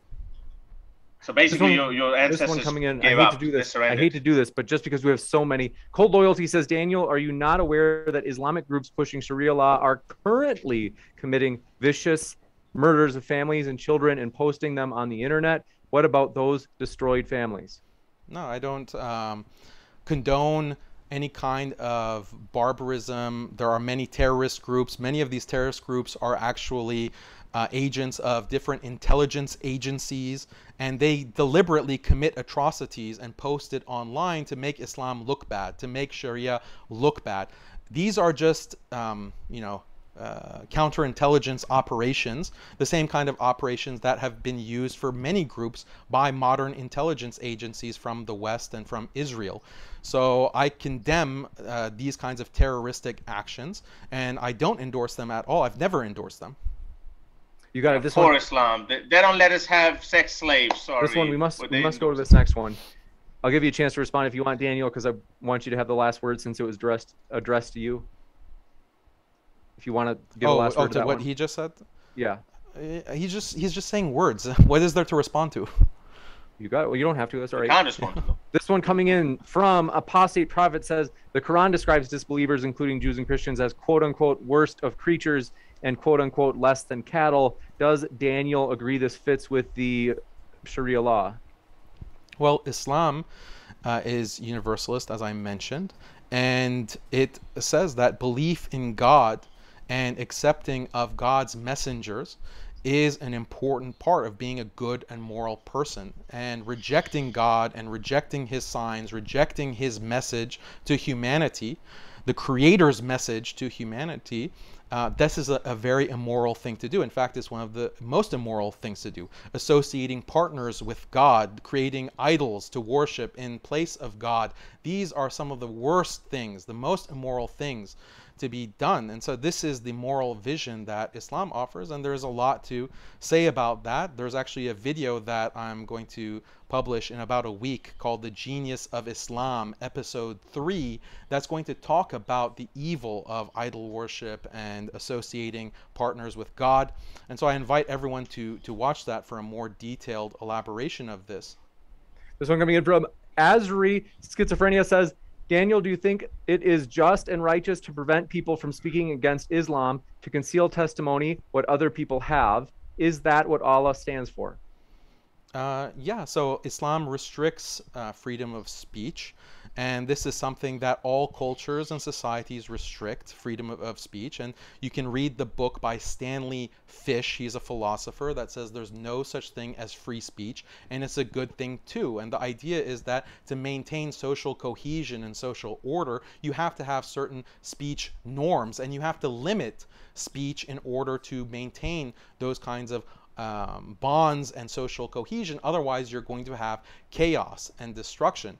And so, all societies prohibit speech, and liberal societies and modern uh, liberal human rights governments in the West are the most restrictive when it comes to speech because they literally assassinate and have a history of assassinating people throughout the world that have speaking, spoken out against liberalism, against democracy. Look at the assassination of civil rights leaders in American history who were arguing for racial acceptance, such as Martin Luther King, Malcolm X. They were assassinated by the deep state because of their opposition to the uh, secular world order and the racist neo-colonial world order. So conspiracy this is something that all Daniel, you're about liberal- Wait, wait, uh, let me answer the question. You're not getting any questions. You don't get to interrogate me along with Apus and all of these atheists. Conspiracy theorists. So let me let me just uh, talk Deep about state. uh, yeah deep Let's- state let's give him a chance to respond. historical facts about the assassination of Martin Luther King, Malcolm X, and look at the colonial period where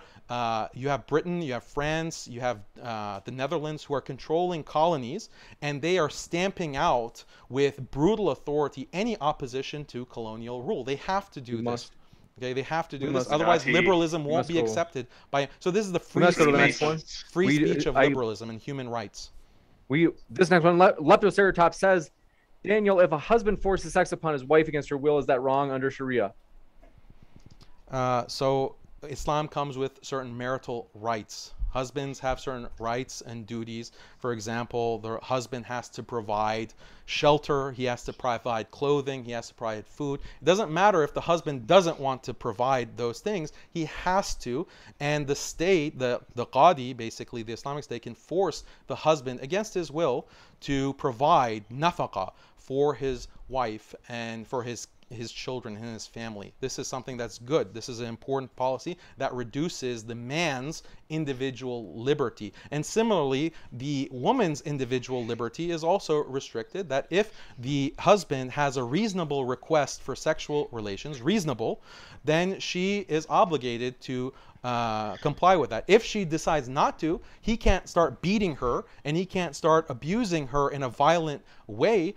But she, uh, the qadi, can say that look, you're not meeting your spousal duties, and therefore you will um, forfeit your mahr, for example, your the bride dowry. You'll forfeit your other um, privileges as a wife. So there's give and take in marriage. That's why Islam is beautiful because it creates this dependency between husband and wife. It's not like modern sexless marriages in the West where women say, "Oh, I don't, I can leave my husband to have uh, no sex for months because I don't feel like it. I'm a, I'm a strong, independent woman." And meanwhile, the husband is working his tail off trying to provide for his family, but there's no obligation on his wife to reciprocate in any kind because she's a strong, independent feminist and she has to have maximum choice and opportunity. But the Must- poor devil, he has to work and provide for all of that with no compensation or anything in, ret- in return.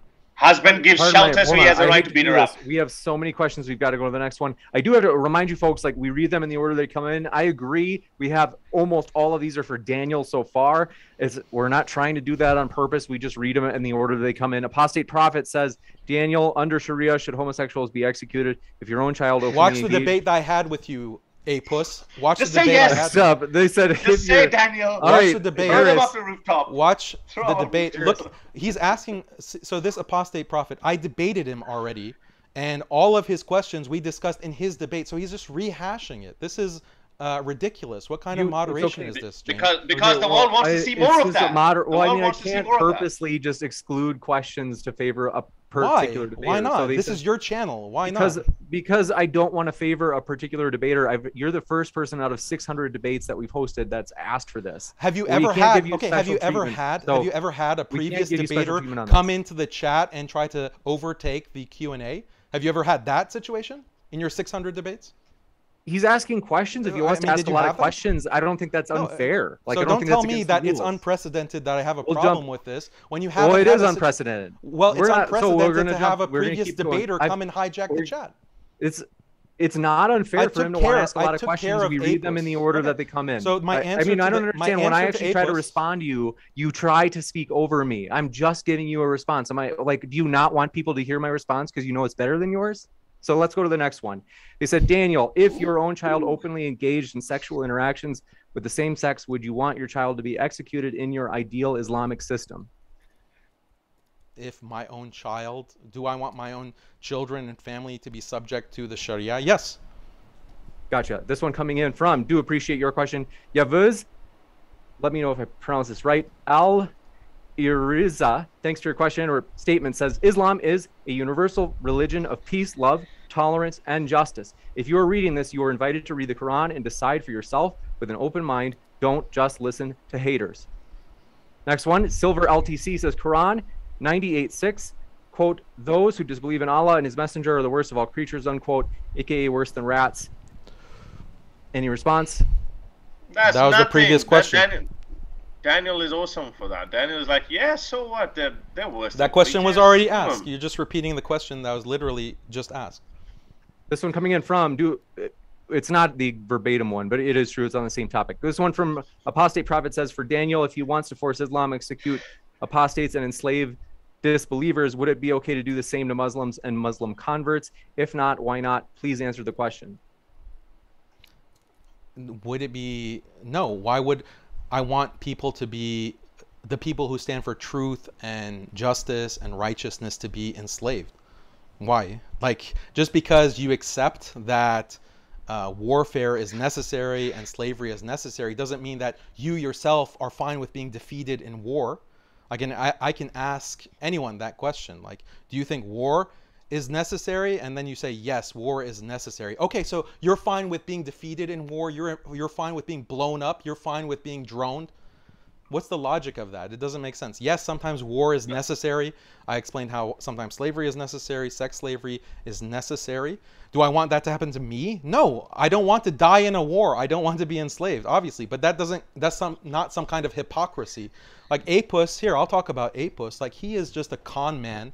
He has to lie, Like just me. like Harris, to his Hindu Yeah. Hindutva audience, his Christian loser audience, who they Listen, are not we are- able to actually think for themselves. They just follow this con man. Conspiracy all of these theories. Points, all Hold on of these one points sec. have I- been addressed. All of these points have been addressed in our debate that I had with Apus. But he's such a crybaby loser that he has to hijack this debate. All right, and Harris let's- is such a and Harris on. is such a cuck that he allows Apus to hijack his stage and his spotlight. Doesn't that make Must- you feel like a loser, Harris? Doesn't that make No, you feel like You're really No. driving the that your wedges big there. That daddy that was- Apus, The- your big your daddy, rhetorical that- skills your are let me- good. Daddy I- I- I gotta Apus, respond. I- I- your big I daddy respond Apus is taking it your always- spotlight. Are you are you second Daniel. fiddle to Apus, Harris? Daniel, Answer- Daniel, answer that question. always Because you're not getting any questions always- from the audience. No one cares this- about this- any of yeah, your All right, Yeah, exactly. right, we must go. because We my go to the position is so one. Are you- sensible. are you People are like, whatever he Are says You have to okay. let. Okay, Little- look. You ask if you ask Harris a good question, we gotta come give him a on, chance to respond. Are you Come are you on, this Daniel. schoolboy cuck, Harris? Come on, I, come on, I'm wondering. Okay, look, whatever kind of Maybe we have to go to you're, the next you're one. imagining, I can I can go into that. No, hang on, I'm gonna respond to that. I, whatever whatever is going through your mind and your manly man brain, that's fine with me. But my strategy was always to let you speak more. You defending slavery, sex slavery. We didn't even touch torture because you, you would defend torture as well. Wife beating, you've defended that. I don't have to say anything. Let the world see for itself because right now, your own fellow Muslims, they're actually like this they're like, oh, geez, he did not say that, but you did say that. So this is why that's perfectly fine. You know why people are not asking me any questions? Because my my my positions are very sensible. They're they're very rational. They're like, okay, that's fine. Your case, it's not so much. You're just defending what everyone already has been indoctrinated with. So I actually have the uh, larger task Oh, of you- bringing arguments, oh. bringing evidence, Like citing seventh academic century old Hold house. citing alright, hold on. 1400 academicians. years old, 1400 year old on, hold ideas on, are wait, we new gotta go- we gotta go to the ideas. next one. We've got so many questions. I hate to do this. The Super Destroyer says, Apus got uh, go respond to Farid responds. Okay. And then Scrump Yang says, Daniel, you haven't demonstrated how your stats relate to your arguments. Just throwing stats at someone and thinking you're one isn't how you win. No, they are relevant. The stats were relevant to how family is dying out within the modernized human rights world. That's how it's relevant. How uh, families are dying out, marriages are dying out, communities are dying out.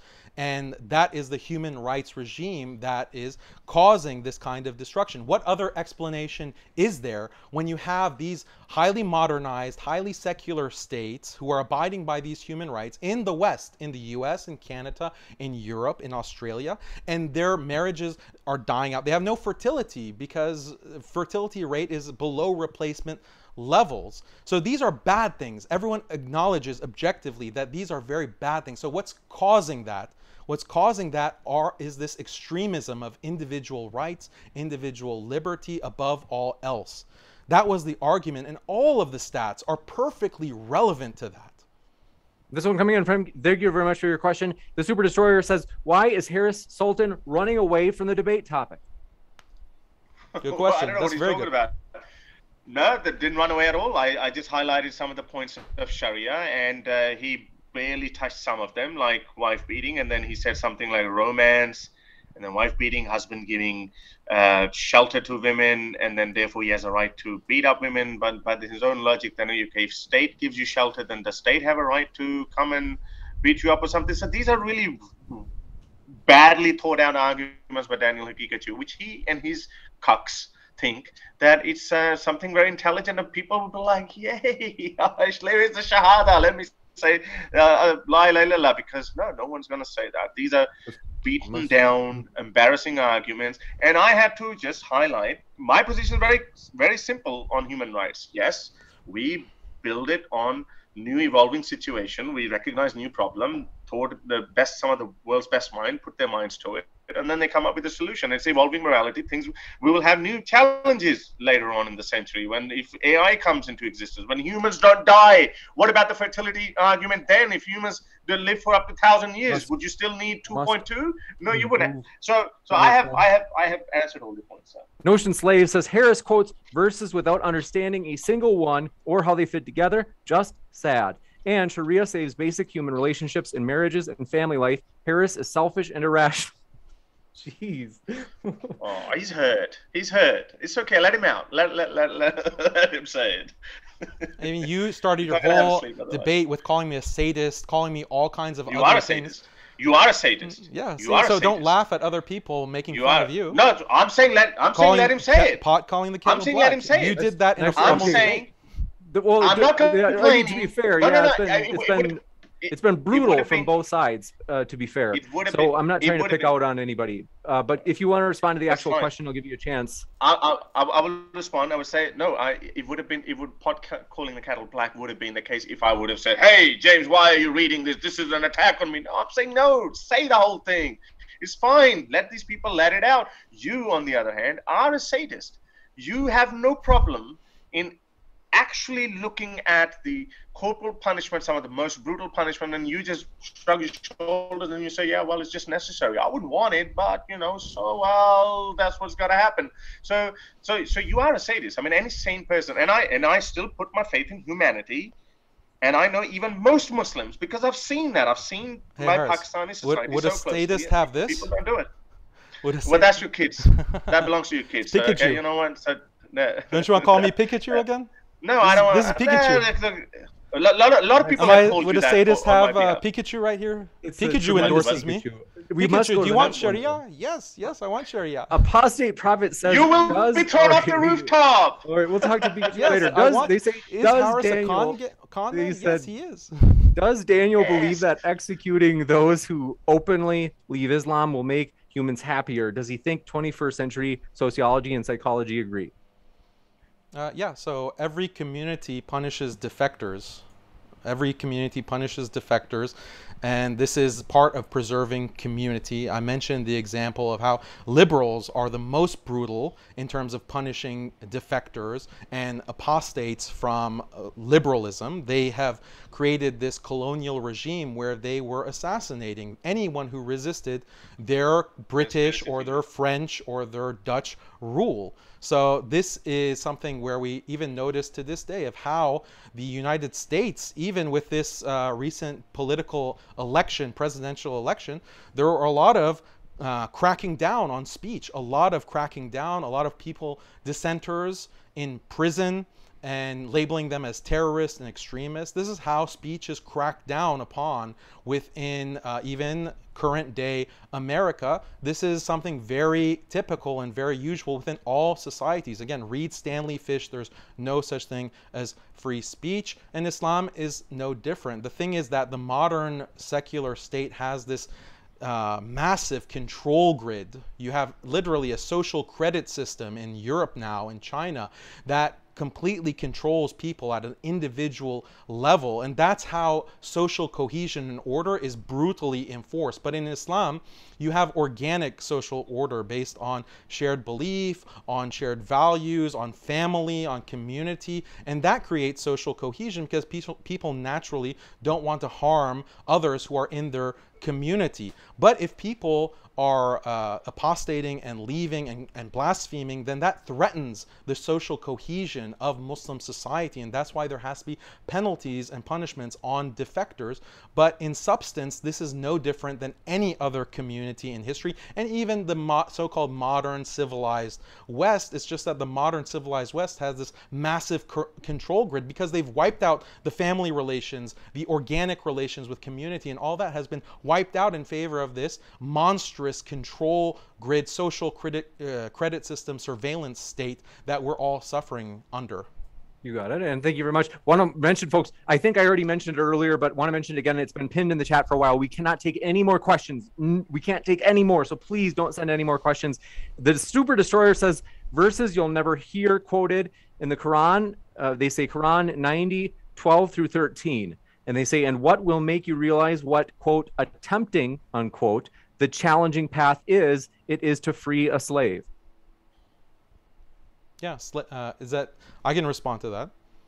If you'd like, Yes. Go ahead. Um, r- freeing a slave is a highly meritorious action in Islam. It's something that is encouraged. But I'm not like other apologists. I am very honest. I say that Islam did not abolish slavery, and I gave the justification for that. If Islam abolished slavery, it would have been wiped out. It, Muslims would have been exterminated. Uh, basically for most of Islam's history. So, yes, freeing slaves is highly meritorious, and there's a lot of details about that because it's encouraged in the Quran, it's encouraged in the um, biography of the Prophet Muhammad, peace be upon him. Uh, just like giving charity is meritorious, feeding the orphan is meritorious, all of these kinds of charitable actions are very encouraged in Islam, but that doesn't mean that Islam is, you know, abolishing private property or Islam is abolishing um, uh, having personal wealth or slaves. Yes, uh, that is allowed as mentioned in the Quran, but it's meritorious to free the slaves. You got it. Thank you. The apostate prophet says does Daniel want to go back to creating an Islamic empire and spreading Islam? Does he want to bring slavery back in that case? Yeah, so I mentioned um, this argument about slavery, a world with slavery that's low tech versus the horror, the terror of the modern nuclear uh, drone trillion dollar weapons program directed at the third world, at Vietnam, at Africa, at the Middle East. Uh, that is the kind of world that we live in that makes slavery obsolete. It's because of these weapons programs, these nukes, weapons of mass destruction, that makes slavery obsolete. But that is a worse thing. that those weapons are a bigger harm and a bigger uh, disaster on the human race as opposed to having a lower tech society but practices Islamic slavery, uh, that is preferable. You got it. Thank you very much for this question coming in. Closing, closing statements. I think we, we, we should wrap it up now. I think we're, we're almost there. Um, actually, we we have a lot of questions. I, I I know that it's if you can bear with me as long as possible. And I have to I have to wrap it up now, but I think because Daniel has obviously said a lot of things too, and I need to wrap it up and um, just need to respond to it. But obviously, I just I just want to wrap it up by saying that um, well, the few few claims that one of the biggest justification for slavery or making it some sort of a lesser evil uh, that Haqiqatjou has given, and he's making the point that his slavery was uh, went extinct because of something worse that came out, which was the nuclear weapons and uh, biological weapons, etc. That's actually not true. Um, the the movement to abolish slavery started a long time ago in the 19th century, way before uh, these uh, modern dangerous weaponry even started um, such as the one we saw at the start of the 20th century. So it's got nothing to do with that. These things were evolving independently together. So it's got nothing to do with that. Um, I, I, would just simply say that the reason why um, the, the debate was the way it was because we acknowledge human rights is an evolving um, the, the world that we live in, uh, and when we support human rights this is an evolving situation. New problems will arise and new solutions will be required. What Daniel Haqiqatjou is offering here is an old set of ideas for even an older older world with older problems. Those, some of those problems don't even exist anymore. So um, that, that's the reason why it, it is the way it is. Um, and as as uh, you know, as my as my master apostate prophet says, stay away from Sharia, stay away from Islam if you'd like to respond, Daniel, you can. I, we do have more questions. I'd love to get through these questions, most of which would be for you, Daniel, and you would you could say that you'd be able to re- respond to them unopposed because I, I do want to honor the questions that people put in. And so, Harris, how many okay are we talking about? How many questions? There's uh, an awful lot. Like I would guess. Let me just kind of ballpark this. One, two, three, four, five. 20 to 25. I would guess 25, between 25 and 30. Well, some of these are going to be quick because they're little comments like Arsenal just won one to zero, C O Y G. I'm definitely gonna. I, I, definitely have to go. Totally okay if you have to go. And I hate to do this, but okay. we won't ask questions to you because so it'd probably be more like 20 questions. Is we won't ask questions to you because you're not able to you know actually respond to them. Harris, so those will kind of let go. Um, but okay, Daniel, if you'd like to thank respond, sure. thank you very much, Harris, for being around. with us. I can make okay. I'll make my closing statements after the questions then. Well, that is uh let's see because he just made his like, closing statement with his yeah, nonsense I, I, mean I'm, I'm open to you making your closing technically it sounds like it'd be fair if you did it whatever you prefer okay i'll, I'll just close um, and then we can go to q&a you got it Oh, oh, he left. Okay, yeah, no worries though. I'm just adjusting the picture. It'll just be scrambled for a second.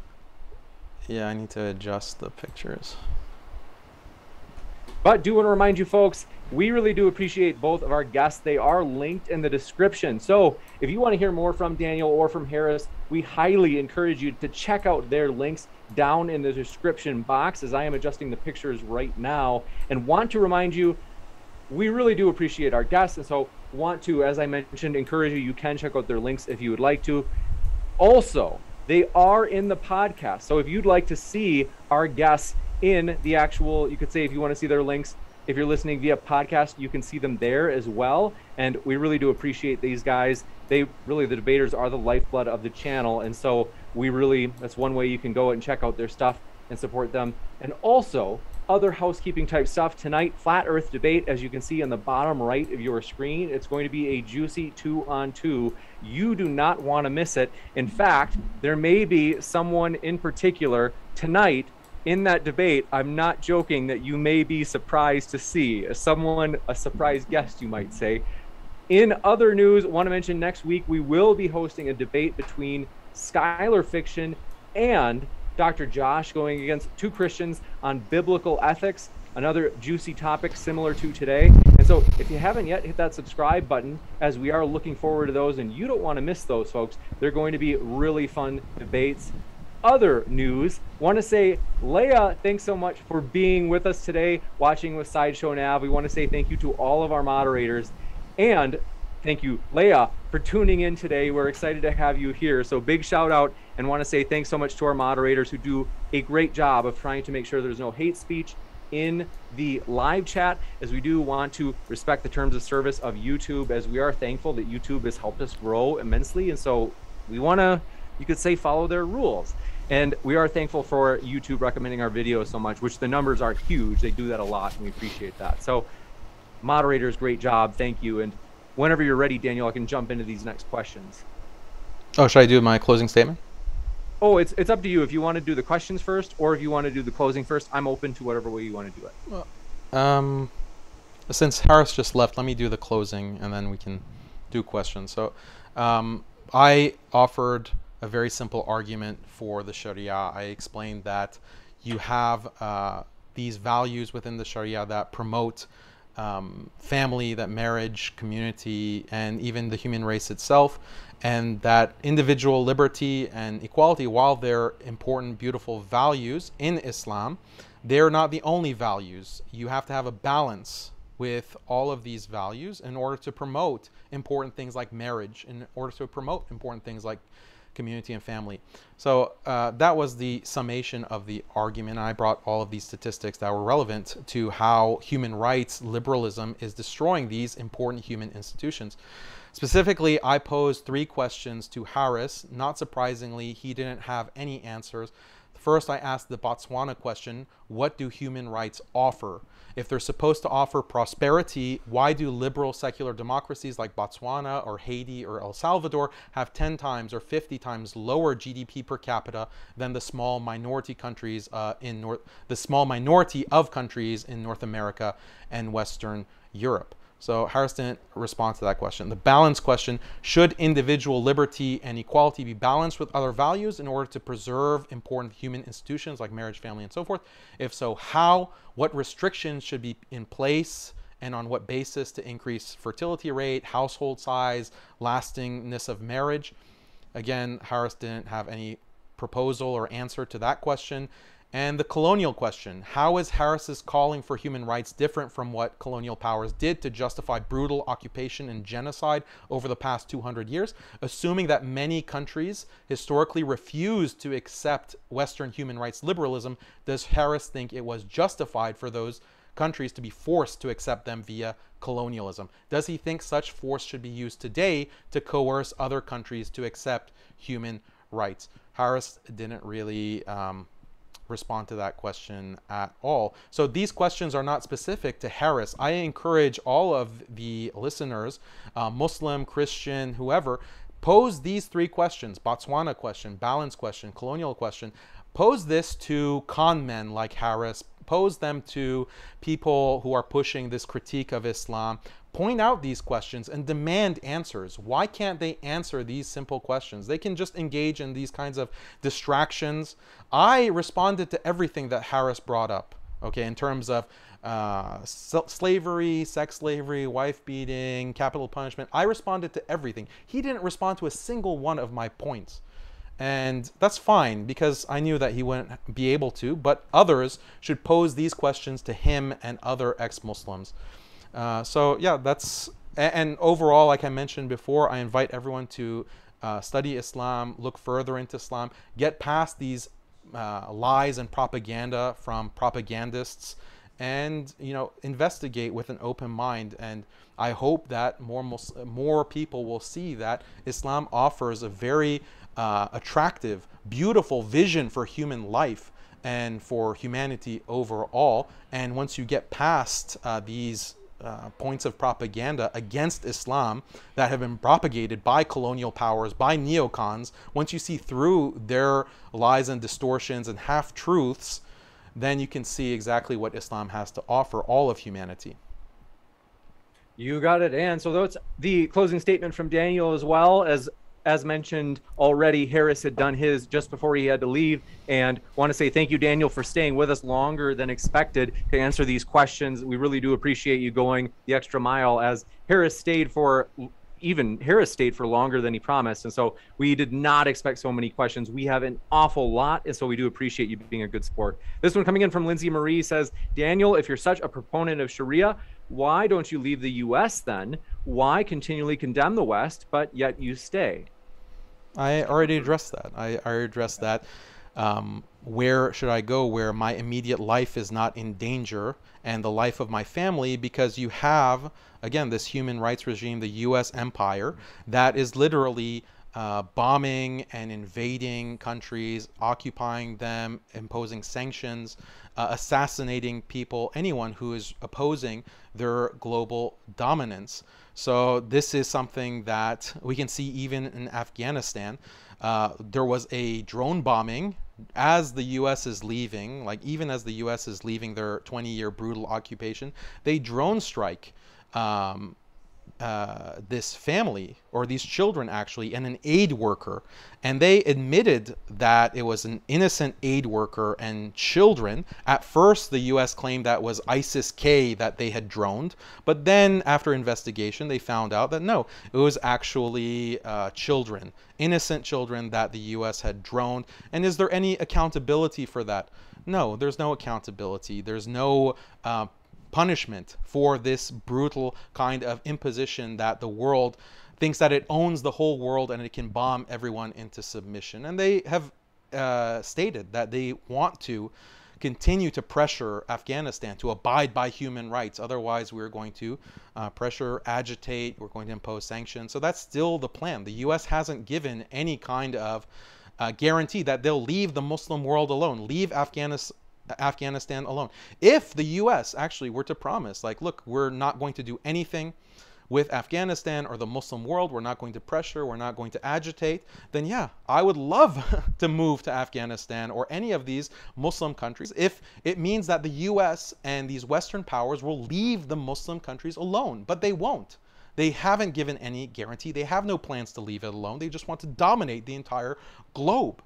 And, and, so that's the reality. And all of you liberals and human rights defenders that are asking these asinine questions, ask yourself why are people in El Salvador and Mexico and in parts of North Africa and Sub Saharan Africa risking their lives to migrate to uh, the Western world, like North America, like uh, Europe? They're literally risking their lives to leave countries that abide by human rights. So, isn't that an indictment?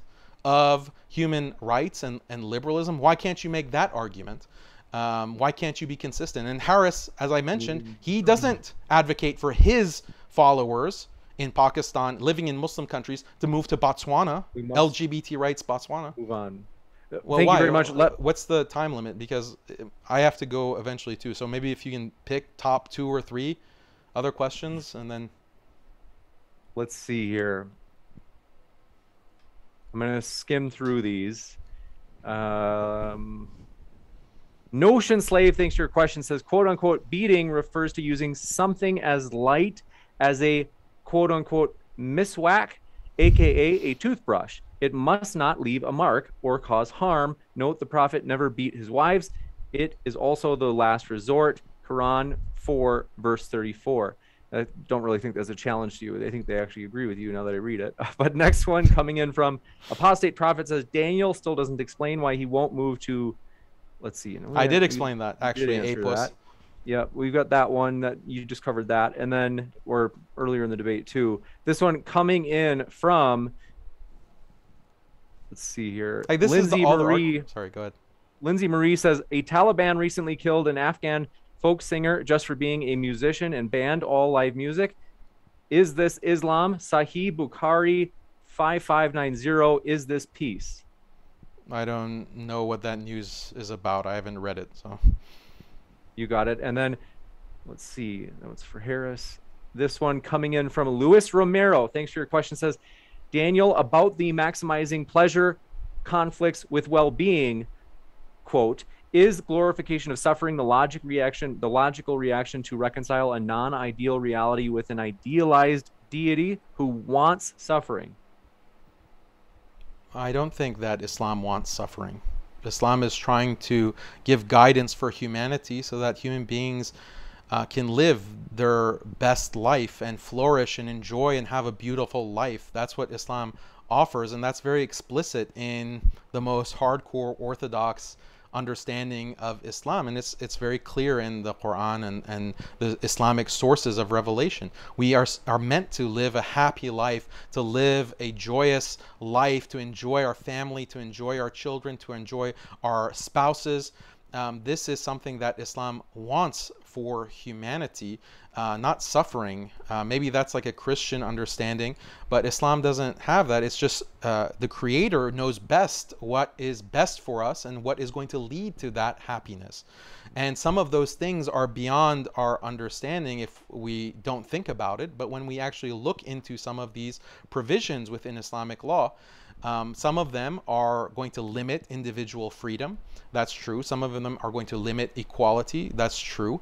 Uh, but overall, the overall benefit is going to be for the benefit of human beings and happiness. The thing about man made rules and regulations, such as are, are, found in liberal human rights, is that it's coming from a finite mind. So when the liberal theorists in the 1960s, with their sexual revolution, said that people should be open to have sex with whoever they want, whenever they want, they couldn't anticipate that the harms that would come 50 years, 60 years, 100 years down the line. All of the stats showing that marriages are dissolving, people are involuntarily celibate because men and women they can't find someone to even have sex with um, they couldn't have anticipated these kinds of problems because they're human beings they have finite intellects this is exactly why we need divine guidance from the creator of human beings You got it. This one coming in from, do appreciate your question. Lepto Ceratop says, Did I ask this? Which current countries that exist today come closest to implementing true Sharia? Mm, I, I really don't know. I, I have to do, I haven't done an analysis of all the countries and all of their policies to be able to judge that. So I can't make a definitive statement. Gotcha. And then this one coming in from Tella San Overlander says this whole debate was, let's see, uh, I'm not, that's confusing. I'm not sure what that means, but Yeah, maybe one more question.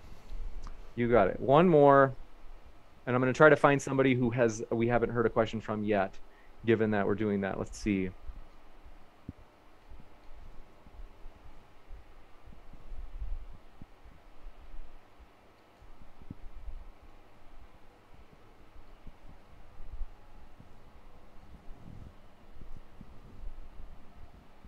Contrarian 420 says, Harris, how would you compare the impact of your government on reducing your human rights versus religion? Are you allowed outdoors without a fine?